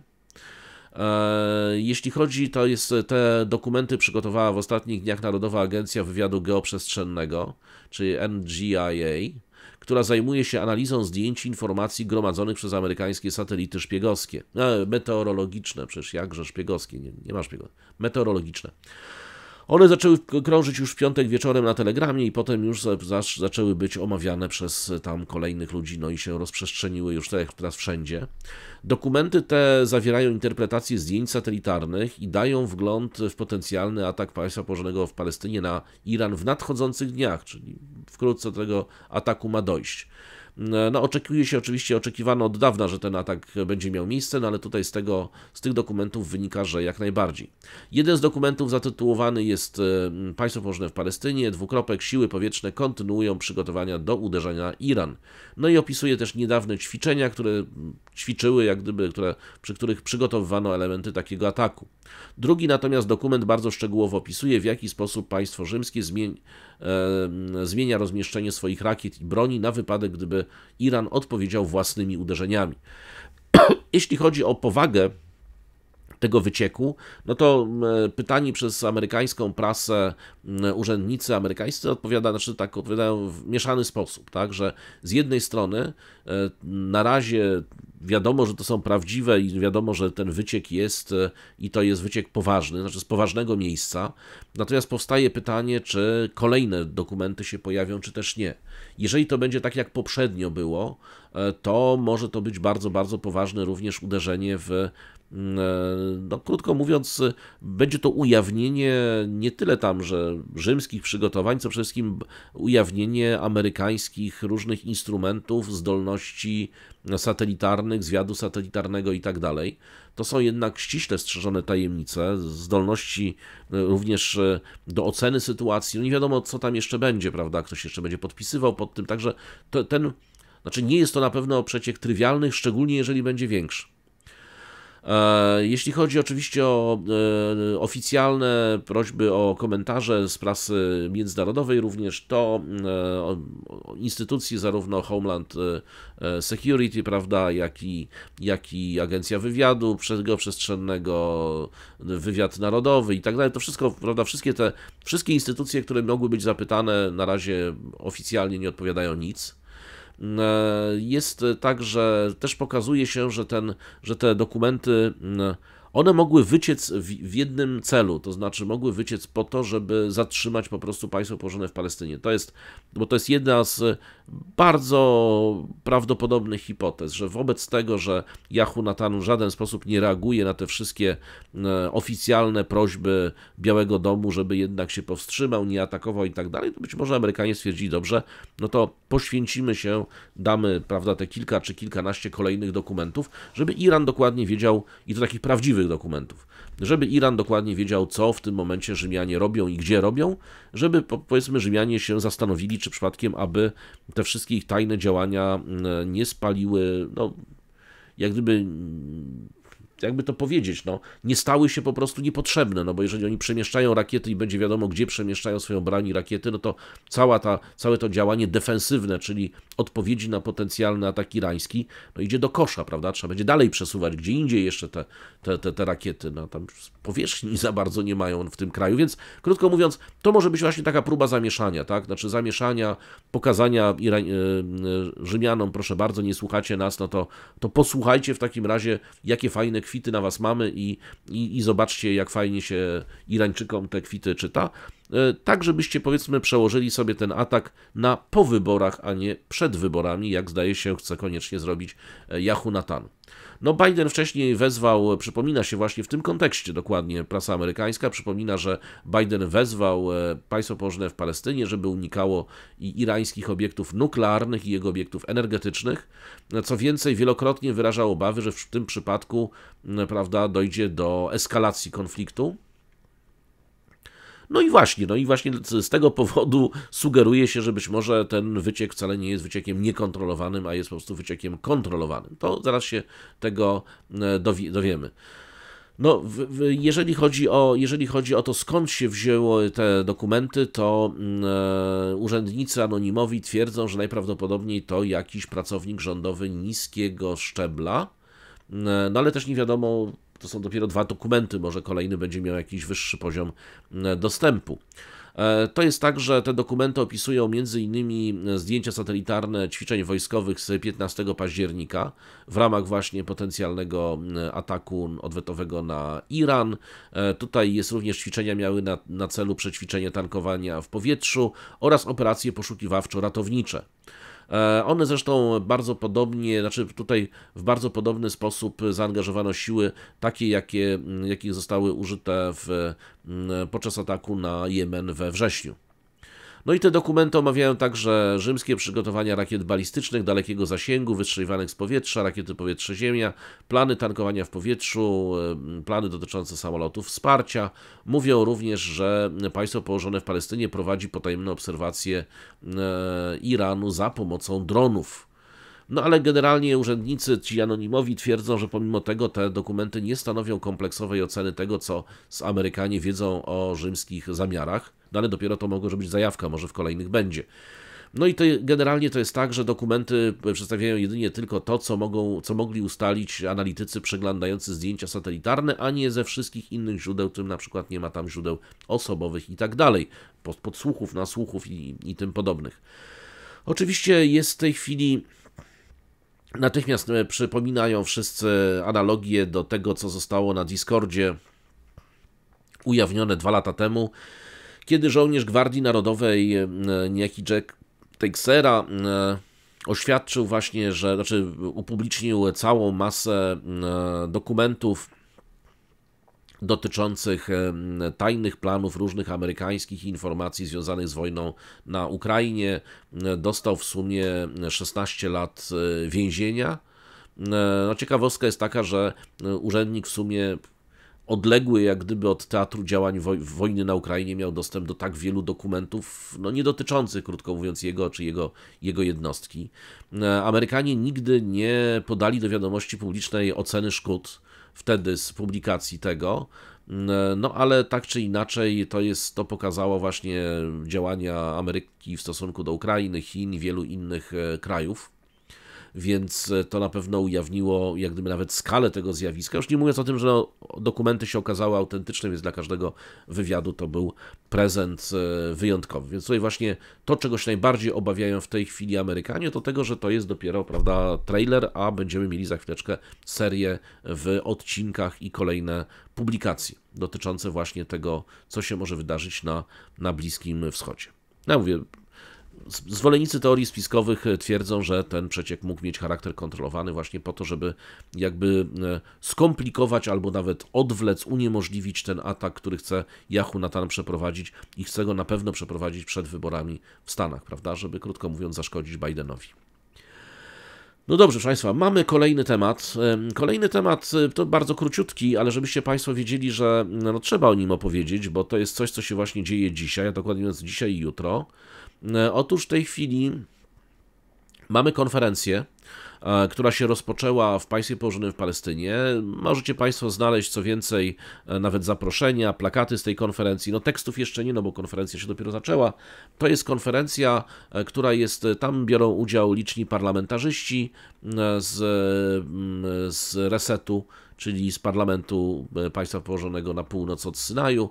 E, konferencja nazywa się, uwaga, przygotowania do zasiedlenia strefy opatrunku. E, między innymi e, w ramach tej konferencji będzie wycieczka, która się nazywa Gaza Observer, która wyruszy właśnie z oddalonej mniej więcej 10 km od granicy osady i później sobie, czyli w, rozpocznie się dokładnie mówiąc Givat Kobiv z Derot i później będą tak zwane praktyczne warsztaty przygotowawcze do zasiedlenia gazy. Będzie 50 mówców z partii Likud e, premiera Yahoo e, Natana. Więc krótko mówiąc, e, tam są zresztą bardzo ładne prezentowane, takie ładne broszury, no widać je tylko z daleka, więc mam nadzieję, że one się tam będzie więcej materiałów, które generalnie już wiadomo jest, już nawet są ustalone miejsca, gdzie będą tam już, jak już się e, humanistyczna armia upora z e, ludnością autochtoniczną w ramach e, świadomej i celowej zresztą depopulacji, bo, no, bo zakłada się, że inaczej będą przeszkadzali, to już są plany dokładnie umiejscowienia osad e, rzymskich. No i właśnie ta konferencja ma jak gdyby zająć się takimi już bardziej praktycznymi, nie, nie, nie decyzyjnymi, tylko praktycznymi aspektami, prawda, kto tam będzie budował, kiedy i tak dalej. Zresztą e, Pani Limor Sonhar Melech to taka bardzo znana e, pani z Ocmy Jehudit. E, to ona powiedziała: e, Strefa opatrunku jest własnością naszych przodków od niepamiętnych czasów. Nie spoczniemy, dopóki jej ponownie nie zasiedlimy. Ona w takim, wystąpiła w takim filmiku, który promował właśnie tą konferencję. Od razu mówię, wszystkie te materiały znajdziecie Państwo bez problemu na Twitterze. E, taka organizacja, ta, która jest gospodarzem tego wydarzenia, to jest e, organizacja osadników, nazywa się Nahala. Ona również e, wcześniej w tym roku zorganizowała konferencję, na której przedstawiono już mapę, plany i plany takie architektoniczne budowy 15 osiedli w strefie opatrunku. Także dzisiaj mamy taką bardziej praktyczną, no ale mówię jeszcze, ponieważ w tej chwili humanistyczna armia zajmuje się intensywną depopulacją północnej części strefy, więc ten oprócz tego tych osad Netzarim mają być, w sumie wiecie Państwo, tam jest tak, ponieważ no, strefa opatrunku oprócz tego, że mieszkają tam jacyś Filistyni, no to jest to rzeczywiście jedno wielkie plażowisko, tak, także z punktu widzenia możliwości tam budowy e, kurortów, e, osiedli, prawda, prawda, takich e, nadmorskich z dojściem do plaży i tak dalej, no to jest to oczywiście miejsce wspaniałe. A w związku z tym e, rzymscy architekci i rzymscy politycy już tam się rozdają sobie ją i to rozdają to oczywiście jak najbardziej na poważnie. Dzisiaj, jutro jest konferencja, więc pewnie w poniedziałek, jak będzie jakieś podsumowanie, bo na pewno będzie z tych wystąpień i dzisiejszych, i jutrzejszych, to Państwu e, przedstawię. No dobrze, proszę Państwa, to jest e, temat e, kolonizacji strefy opatrunku, więc gdyby ktoś e, próbował z Państwem dyskutować, po co jest ta wojna, dlaczego jest dalej prowadzona, prawda, no i, i tak dalej. Czy, wiecie Państwo, dla mnie naj, najbardziej niesamowite jest to, że tam się nikt z tym nie kryje, a jeszcze fajniejsze jest to, że ludzie tutaj na Zachodzie, z szczególnym uwzględnieniem różnych komentatorów w Polsce mówią, nie, nie, nie, to nieprawda, tak nie jest. No jak nie jest, jak oni sami tak mówią, że jest, no. No może powinno się tych naszych, powiedzmy, różnych komentatorów skontaktować bezpośrednio do pani, na przykład tej, do tej pani z e, Otsmy Jehudit, prawda, czyli tej, do tej Sonhar Melech, jest Twitter, jest telefon, można sobie zadzwonić i zapytać się, czy ona to mówi na poważnie. No ona odpowie, że na poważnie, bo mówi o tym od dawna, więc dlaczego by nie? Tyle tylko, że teraz już to wkracza jak gdyby w fazę, która przynajmniej ma zacząć przypominać fazę realizacyjną. Abstrahując od tego, że pewnie nie zaczną nic budować, e, dopóki po pierwsze nie pozbędą się stamtąd e, tubylców, e, a po drugie no nie odgruzują jednak tego terenu, więc to jeszcze chwilę, chwilę czasu potrwa. Proszę Państwa, mamy natomiast kolejny temat. Kolejny temat może się Państwu bardzo spodobać, jest ciekawy, ponieważ, no jak Państwo wiecie, jest szczyt BRICS-u w Kazaniu w Rosji. On się odbędzie od 22 do 24 października. Jest dużo wypowiedzi różnych na temat tego szczytu, między innymi wypowiadają się Chińczycy, ale to, co będzie ciekawego na tym szczycie, takiego no, ciekawostkowego w ten sposób, e, to jest e, coś, co zapowiadano od dosyć dawna. Zresztą dyskusje wokół tego e, trwają nie wiadomo kiedy. Bo jak Państwo pamiętacie, na pewno w sprawie BRICS-u, e, to co jest słabością BRICS-u, abstrahując oczywiście od potężnego konfliktu politycznego, więc ja cały czas temu przedsięwzięciu, dopóki to się nie zostanie przełamane, czyli krótko mówiąc, konflikt e, indyjsko-chiński to konsensus polityczny w wielu sprawach będzie naprawdę bardzo, bardzo trudny, e, a, do a taki konsensus jest potrzebny, no bo jeżeli nie ma konsensusu politycznego, to tym bardziej może nie być gospodarczego. Natomiast no to, co zarzucano BRICS-owi, to to, że, albo inaczej, to zarzucali krytycy, natomiast zwolennicy krytykowali opieszałość kwestiach na przykład wprowadzenia własnej waluty, w kwestiach jakichś praktycznych posunięć w celu dedolaryzacji gospodarki światowej, tak? bo cały czas BRICS jest takim kolosem e, impotencja, prawda, czyli może być, prawda, ale nie realizuje tego, czyli potężne gospodarki, potężna ludność i tak dalej, ale suma tych gospodarek to nie jest jedna wspólna gospodarka, czyli brakuje tych instytucji, można powiedzieć, integracyjnych, czegoś, co by integrowało. Jest bank, ale bank jest słaby. No więc właśnie teraz kwestia rozliczeń.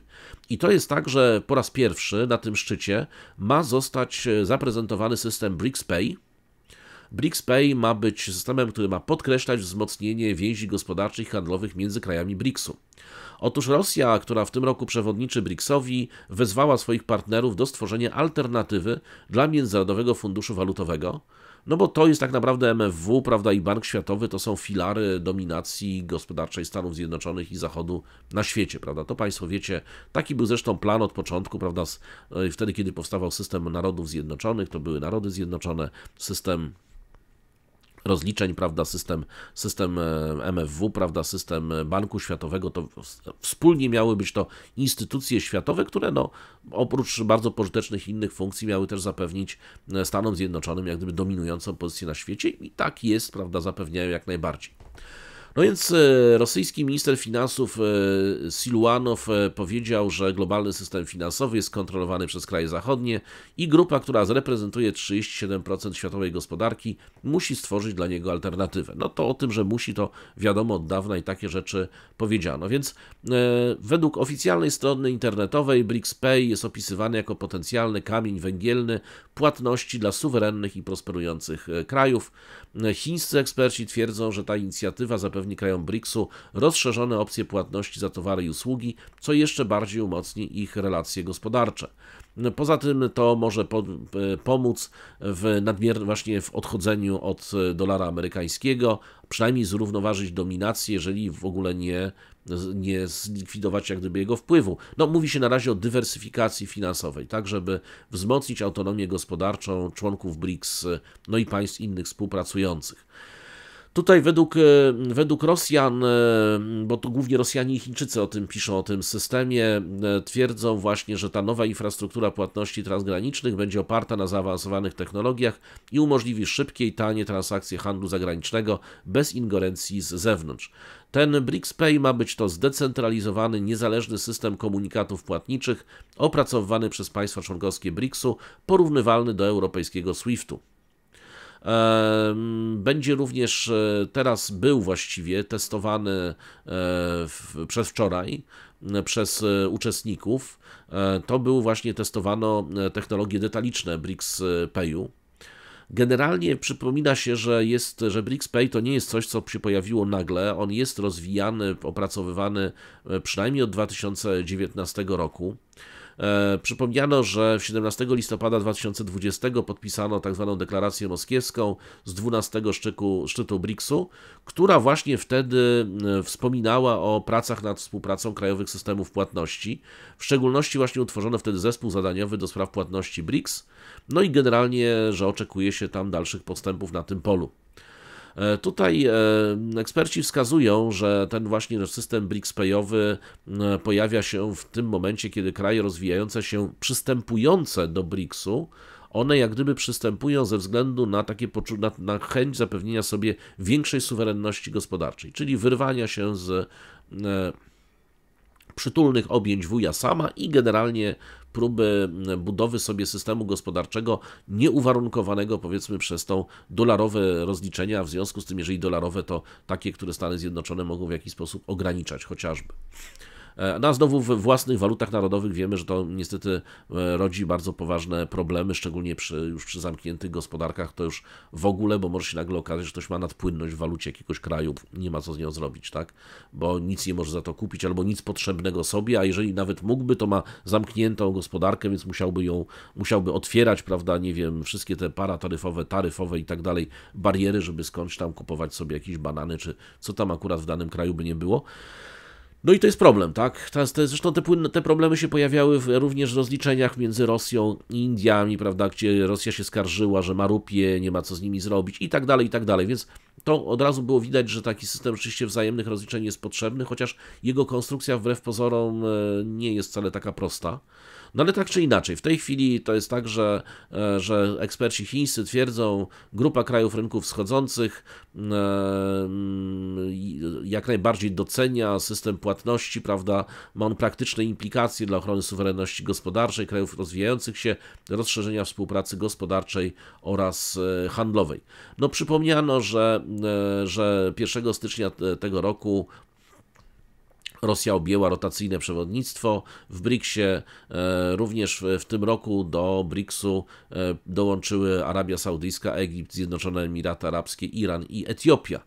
E, no, przypomniano również, że w tej chwili system płatności może pogłębić współpracę gospodarczą, promując partnerstwa handlowe, inwestycyjne, umożliwiając krajom wykorzystanie wpływów gospodarczych i tak dalej, i tak.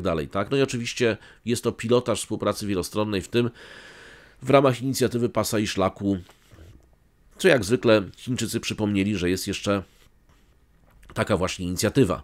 No i oczywiście też e, chińscy akurat i rosyjscy wspólnie eksperci twierdzą, że, że ten właśnie rzeczywiście celem jest gdzieś e, w odległym czasie dedolaryzacja, prawda, czyli odejście do dolara, albo przynajmniej zmarginalizowanie tego dolara w rozliczeniach e, wzajemnych. E, tutaj e, tym bardziej, że niektóre z tych krajów są właśnie objęte różnymi różnego rodzaju sankcjami, a w związku z tym nie mogą się w tym dolarze swobodnie e, rozliczać i tym bardziej właśnie potrzebują jakiegoś własnego, własnego systemu rozliczeniowego. Tutaj właśnie jeszcze chińscy eksperci, prawda, którzy są pytani przez chińską prasę, właśnie twierdzą, że ten, że ten system BRICS Pay może być właśnie wyzwaniem dla Amerykanów. Przez długi, tutaj cytuję jednego z ekspertów, przez długi czas dolar amerykański utrzymywał dominującą rolę w międzynarodowym systemie walutowym i finansowym, przepraszam, postawiając wiele krajów podatnymi na ryzyko kursowe i presję ekonomiczną. System płatności BRICS pomoże zmniejszyć zależność od dolara i zaoferuje oferuje krajom członkowskim bardziej niezależne i bezpieczne alternatywne e, płatności. No i oczywiście jest tam cały opis, prawda, tego e, od razu, e, jakie to właśnie nie będzie to wszystko wspaniałe jak zostanie ten system wprowadzony. Ale tak do końca, jeśli chodzi o jego konstrukcję, o jego skuteczność, na razie jest jakiś PR, prawda, i zaczyna być wprowadzany. Zobaczymy, jak to się rozwinie i czy się w ogóle rozwinie. No, kiedy zakładano ten bank BRICS-u, też zakładano, że to ma być wyzwanie dla Banku Światowego. Potem się okazało, że to niestety nie jest takie proste i to, nie, to jest oczywiście jakaś tam proteza, ale bardzo. To jest plasterek nawet, a nie proteza dla e, szczególnie krajów rozwijających się. Proszę Państwa, mamy kolejny temat. Otóż mamy spotkanie grupy G7 w Neapolu, a dokładnie mówiąc nie samej grupy, co ministrów obrony narodowej grupy G7 w Neapolu. No musimy o tym powiedzieć, prawda? To są jednak ważne spotkania. Otóż ministrowie obrony narodowej grupy G7 e, spotkali się w sobotę w kontekście no, licznych w tej chwili już konfliktów zbrojnych e, wyrazili przede wszystkim zaniepokojenie eskalacją w Libanie oraz przypomnieli o niezachwianym wsparciu dla Ukrainy. Włochy, które sprawują w tej chwili rotacyjną prezydencję właśnie G7, zorganizowały to spotkanie poświęcone właśnie obronności. Najważniejszym punktem była oczywiście wojna Rosji z Ukrainą e, i tutaj mamy w komunikacie końcowym opisane, podkreślamy nasz zamiar dalszego zapewnienia Ukrainie pomocy, w tym pomocy wojskowej w perspektywie krótko i długoterminowej. Czyli to, czego można było się spodziewać. No i właśnie przypomniano o niezachwianym wsparciu. Jednocześnie jednak e, ministrowie obrony G7, czyli Włoch, Francji, Niemiec, Wielkiej Brytanii, Japonii, Kanady i Stanów Zjednoczonych, ostrzegli też przed niebezpieczeństwami wynikającymi z dalszej eskalacji tego, co się dzieje na Bliskim Wschodzie, w tym również e, w Libanie. I tu jest e, w komunikacie, znowu w oświadczeniu czytamy, jesteśmy zaniepokojeni, zaniepokojeni najnowszymi wydarzeniami w Libanie i ryzykiem dalszej eskalacji. To standardowy tekst, ale ten kolejny jest istotniejszy. Wyrażamy zaniepokojenie wszelkimi zagrożeniami dla bezpieczeństwa Unifilu. No jak Państwo wiecie, prawda, do Unifilu ostatnio jest ulubioną strzelnicą dla czołgistów e, rzymskich. Oczywiście oprócz domów z Jachią Sinwarą w, Sinwarem w środku są również, e, są również wieże obserwacyjne i generalnie kamery Unifilu, bo jeszcze może żołnierze zobaczyliby coś czego mają nie oglądać, prawda? Więc, więc lepiej, żeby ich tam nie było. No mamy te również, jest również, e, e, ci ministrowie wezwali też e, Iran do zaprzestania wspierania humusu i jabollahu.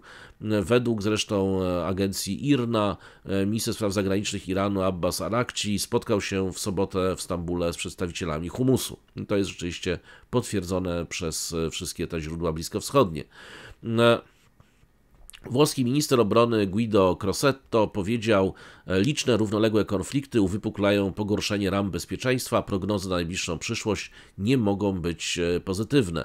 Przypomniano również e, o niestabilności w Arabii, w Afryce subsaharyjskiej oraz rosnących napięciach w regionie Azji i Pacyfiku. Obecny był również szef NATO Mark Rutte i szef polityki zagranicznej Unii Europejskiej Józef Borrell. E, oni obaj powtórzyli słowa e, Bidena, że śmierć Sinwara może stanowić okazję do doprowadzenia do zakończenia działań wojennych. No ale znowu, oni sobie powiedzieli, Jahu Natan powiedział, że absolutnie nie, więc nie wiadomo po co znowu ten temat poruszali. E, Borel powiedział z pewnością po zabiciu Sinwara otwiera się nowa perspektywa i musimy ją wykorzystać, żeby osiągnąć zawieszenie broni, uwolnić zakładników i poszukać perspektywy politycznej. E, również e, omówiono ataki na siły pokojowe e, Unifilu w Libanie. Borel zasugerował, że Rada Bezpieczeństwa ONZ powinna wzmocnić mandat sił pokojowych. O widzicie Państwo, to jest to właśnie, o czym ja mówiłem u, u, w historii realnej u pana Zychowicza, tak? Żeby że ten mandat powinien zostać zdecydowanie zmieniony i powinny siły Unifilu e, dostać dużo większe wsparcie w obliczu właśnie powtarzających się ataków na ich pozycje. Bo jest powiedziane, nie mogą działać samodzielnie, nie z pewnością jest to ograniczona rola. E, I generalnie Borel też napisał w mediach społecznościowych, że potrzebny jest silny mandat dla e, Unifilu. Zresztą e, również premier Włoch Giorgia Meloni określiła ataki na, Unifil, na Unifil jako niedopuszczalne. Włochy mają w sumie około tysiąca żołnierzy w ramach właśnie Unifilu. No i to są jednym z najistotniejszych, prawda, tam właśnie kontrybutorów niejako do Unifilu, jeśli chodzi o Liban obok, e, obok Francuzów. E, tak na marginesie powiem Państwu, że e, ja zresztą o tym mówiłem, ale jeszcze powtórzę jeszcze raz, że moim zdaniem siły, znaczy siły ONZ-owskie, co do, bo Państwo możecie jakby tego nie wiedzieć, no to jest tak, że ONZ, czy nie, nie wiedzą, inni nie wiedzą. No, wolałbym, żeby wiedzieli wszyscy, więc dlatego o tym opowiadam. Generalnie ONZ nie ma własnych sił, prawda? Nie ma własnej armii. ONZ zwraca się do państw członkowskich, tworzy pewien mandat, prawda, czyli na przykład nałożenie na kogoś sankcji zbrojnych i wzywa właśnie państwa do e, zapewnienia jak gdyby przywrócenia wobec agresora na przykład stanu sprzed agresji. No, natomiast to już jakie państwa i ile dadzą tych żołnierzy i w jakiej formie, To jest ich sprawa, tak? Znaczy jedni dadzą więcej, drudzy mniej, w zależności od za, zaangażowania albo zainteresowania zaangażowaniem takiego konfliktu. No. Niektóre na przykład kiedyś dawno na tych misjach ONZ-u to było słynne, że niektóre, niektóre państwa afrykańskie wysyłały swoich żołnierzy w różne dziwne strefy konfliktu, głównie dlatego, bo ONZ zapewniał im buty. Oni normalnie butów nie mieli, a tak dostawali buty z ONZ-u. No ale w takich przypadku, takich akurat misji, gdzie mamy z dwóch stron e, niezwykle agresywnych przeciwników, którzy naprawdę lekce sobie ważą wszelkie prawa międzynarodowe, prawda? I ja mówię tutaj o granicy, dokładnie mówiąc, libańsko, Libanu z państwem położonym w Palestynie, gdzie, z obu, że, gdzie żadna ze stron nie zamierza respektować jakiegoś tam mandatu ONZ-u, no to te wojska powinny po pierwsze dysponować uzbrojeniem takim, żeby były w stanie się przynajmniej obronić same, a nie mundurami starczą, prawda, na plecach, żeby ktoś sobie do nich strzelał. A po drugie, no, siła ONZ-u zasadza się tak naprawdę na sile członków ONZ. Jeżeli tam, tak jak powiedziałem u pana Zychowicza, ja powtórzę tutaj też, że w moim przekonaniu powinno to być tak, że jeżeli mamy e, czołg, który podjeżdża pod e, pozycję Unifilu i zaczyna ją ostrzeliwać na przykład francuskich żołnierzy, to 5 minut później nad tym czołgiem powinien się pojawić francuski samolot już, który, e, czyli sił, które wspierają taki Unifil, bo to zostaje zaatakowane nie jakaś abstrakcyjna, e, abstrakcyjna e, organizacja międzynarodowa, prawda, ONZ, tylko jest zaatakowana po prostu armia francuska i ten, powiedzmy, powinny się zacząć psuć piksele na niebie nad takim czołgiem, czyli krótko mówiąc, ktoś powinien zbombardować taki czołg. No jeżeli zaatakował francuskich żołnierzy, to Francja powinna móc ich bronić. I do, dopiero taki mandat a czy to jest dorozumiane, prawda, w tych wszystkich przedsięwzięciach ONZ-owskich, ale to powinno być mówione i przedstawiane wyraźnie. Jeżeli Jabollach, prawda, podjeżdża i jest w stanie ostrzelać irlandzkich na przykład żołnierzy na patrolu, to 30 minut później tam powinna wylądować brygada już w pełni wyposażona irlandzka, która po prostu przejedzie się po tym Jabollachu i zostawi po sobie e, niewielkie wystające, prawda, z, z ziemi e, ułamki kominów, no. W innym przypadku e, wysyłanie tych żołnierzy po to, żeby sobie tylko tam siedzieli i byli tarczą strzelniczą, jest po prostu bez sensu. Znaczy, jeżeli Organizacja Narodów Zjednoczonych, taka, taka zawsze była filozofia Organizacji Narodów Zjednoczonych, no, to są narody, które wysyłają swoje siły no bo z jakiegoś powodu tam lokalnie nie da się tego konfliktu rozstrzygnąć.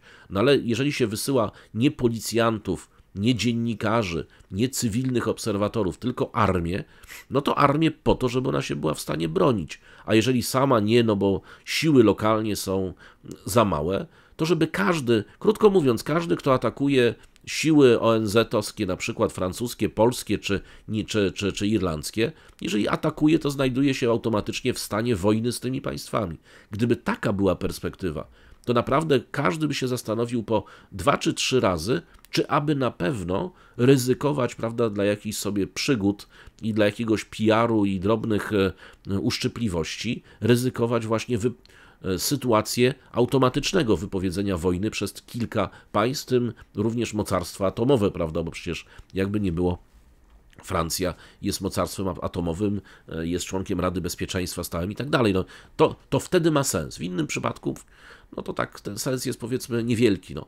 Sens jest tylko taki, że oni tam siedzą i e, będą się i patrzą się na ręce e, sił humanistycznych, a siły humanistyczne akurat bardzo nie chcą, żeby, żeby, żeby ktoś tam oglądał, co tak naprawdę robią w południowym Libanie. No i to tak do tego się to chyba sprowadza. No dobrze, jeszcze mamy, jeżeli chodzi jeszcze o sprawy jeszcze G7, to oczywiście przypomniano Zełęskiego, ten jego plan zwycięstwa słynny, to, że właśnie e, ubiega się on o zgodę na uderzenie bronią dalekiego zasięgu w cele wojskowe w Rosji i tak dalej. No Rute powiedział, że NATO nie jest w stanie potwierdzić po pierwsze danych dotyczących tych Koreańczyków, więc na razie nie wiadomo. Po drugie, chcą dostać, Ukraina chce dostać niejądrowy pakiet strategicznego odstraszania. Nie wiadomo do końca o co chodzi. No i jest jeszcze właśnie kwestia dotycząca tamtej broni atomowej ewentualnie. Znaczy to chyba państwa G7 słusznie postrzegają cały ten zestaw, tą plejadę życzeń Zełańskiego jako no taki dosyć roz... na pewno ta broń dalekiego zasięgu, już tak dosyć oficjalnie to wygląda na to, że po prostu Ukraina wie o tym, że to wciągnie ewentualnie NATO do wojny. No, naj, znaczy, jedynym sposobem na pewno na wygranie wojny takiej konwencjonalnej przez Ukrainę jest włączenie się NATO. No to, to jest oczywiste. Więc to jest taka kolejna próba wciągnięcia NATO. No, a NATO się cały czas na to, na to się właśnie nie zgadza i tyle. No dobrze ale to są już e, takie dywagacje. W każdym razie e, tak samo na G7 zrozumiano to, więc e, tutaj oprócz tego, tego pełnego wsparcia dla walki Ukrainy nie podjęto żadnych takich bardziej poważnych kroków, a na pewno nie ustosunkowano się pozytywnie do całego tego pakietu zwycięstwa, który przedstawił Załęski. No dobrze, proszę Państwa, mamy kolejny, mamy kolejny temat. Temat już dzisiaj e, ostatni, bo miałem jeszcze dwa, ale już e, jest niedziela, więc Państwu daruję. Krótko mówiąc, e, ciekawostka. Czad zostaje nagrodzony przez Zjednoczone Emiraty Arabskie. Czad dostał 500 milionów dolarów od Emiratów. Umowa pożyczki, to jest, bo to jest umowa niby pożyczki, między Czadem a Abu Zabi, dokładnie mówiąc Abu Dhabi Development Fund, prawda, FADD, została podpisana podczas ostatniej wizyty prezydenta Czadu Mahmata Idrissa Debi Itno w Zjednoczonych Emiratach Arabskich, no ale teraz została ratyfikowana przez, e, przez parlament i zostało właśnie oświadczenie opublikowane teraz przez sekretariat generalny rządu. To jest ta, e, to jest e, to, to, ten, ten dodatkowy datek, prawda, uzupełnia pierwszą umowę podpisaną w styczniu 2023 roku na kwotę 200 milionów dolarów. 150 milionów dolarów było w formie pożyczek, 50 milionów na dar, w formie po prostu darowizny.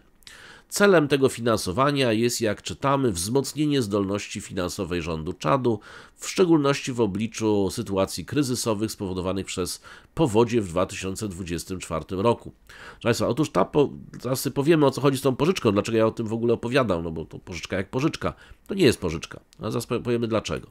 Otóż ta niby pożyczka w wysokości 500 milionów dolarów, ona odpowiada 15% rocznego budżetu Czadu, to jest po prostu nagroda dla Czadu za pomoc e, Zjednoczonym Emiratom Arabskim.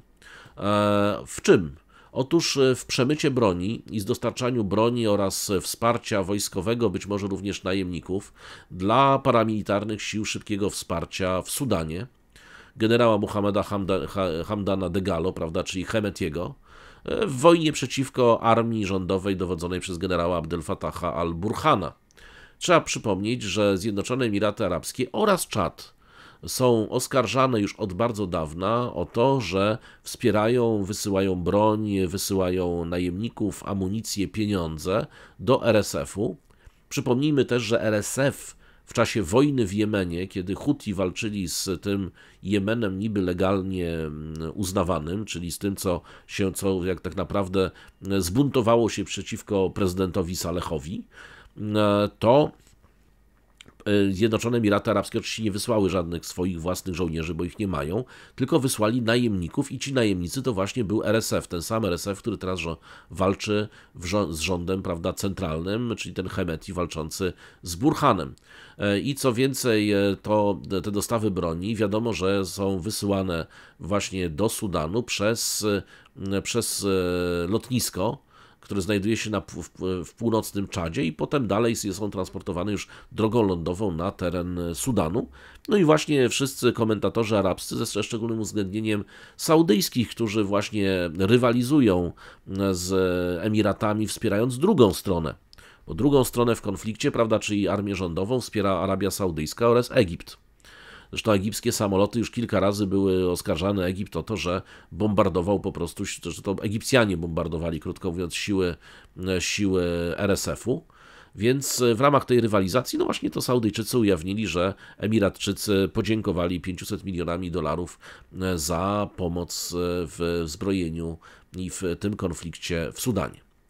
Więc jak Państwo widzicie, jak, jak się to ładnie układa, ale mamy już jakby, no jeszcze kilka miesięcy temu nie, nie wiadomo było, kto się dokładnie dokłada do tej e, wojny. Tropiono właśnie Rosjan, tam e, Wagnerowców, którzy też się notabene dokładają, ale uwaga, dokładają się do każdej ze stron, tak żeby tak czy inaczej, bo e, oficjalna Rosja, czyli, czyli Kreml popiera e, Egipt, prawda, Burhana i tak dalej, natomiast Wagnerowcy popierają w tym momencie Zjednoczone Emiraty i Hemetiego, więc ktokolwiek nie wygra, Ruscy, krótko mówiąc, uważają, że się uwłaszczą też na, na Sudanie. Na razie wojna jest nierozstrzygnięta po tym, kiedy Wydawało się, że RSF już e, jest niepokonane, doszło do kontrofensywy wojsk rządowych i w tej chwili znowu tam, gdzie już było, wydawało się pozamiatane, że wojna jest e, znowu e, jak gdyby rozpalona i znowu te miasta przechodzą z rąk do rąk. Codziennie mógłbym Państwu opowiadać o to, co jest zdobywane, no ale to poczekajmy na jakiś duży przełom, wtedy dopiero będę o tym opowiadał. No warto powiedzieć, że teraz się już ci partnerzy już zdjęli maski, tak że po prostu oficjalnie wspierają e, strony. No jeżeli Egipt się zaangażuje bardziej, szczególnie jeżeli rzeczywiście wyśle lotnictwo do takich stałych bombardowań RSF-u, no to RSF ma tam trochę e, nieciekawą sytuację, bo on akurat lotnictwa, lotnictwem nie dysponuje. No dobrze, proszę Państwa, i to by na dzisiaj było tyle. Przypominam Państwu na koniec, że patronem kanału jest firma, która oferuje domy i apartamenty tam, gdzie nas nie ma, firma Casa Playa, czyli w słonecznej, przepięknej i w ogóle fajnej do siedzenia, szczególnie w zimne popołudnia polskie e, Hiszpanii. E, firma twierdzi, że jest to super lokata kapitału, kupienie sobie takiego dość drogiego jednak e, apartamentu. No i linki i wszystkie informacje znajdziecie Państwo w opisach pod e, odcinkami i odcinkiem dzisiejszym. Przypominam też, że możecie Państwo cały czas kupić moją książkę, prawda, Kitab al-Jihad w przedsprzedaży z darmową dostawą do domu. Ona cały czas jeszcze jest w tej przedsprzedaży dostępna, także jak Państwo chcecie, czy dla siebie, czy na prezent, to cały czas jeszcze przynajmniej tą dostawę za, za darmo do domu będziecie e, mieli. Wiadomo oczywiście hejterom też wiadomo co w co, prawda? I pamiętamy Al-Kilab Tarbahu Al-Kafilat Tasir, prawda? Czyli psy szczekają, a karawana idzie dalej. Ja już się z Państwem żegnam. Miłej niedzieli i do zobaczenia do poniedziałku. Last night, U.S. military forces carried out a series of airstrikes in Syria. 有外部势力干涉台湾事务的 в Европе свое тактическое ядерное оружие. Мы договорились, что мы сделаем то же самое.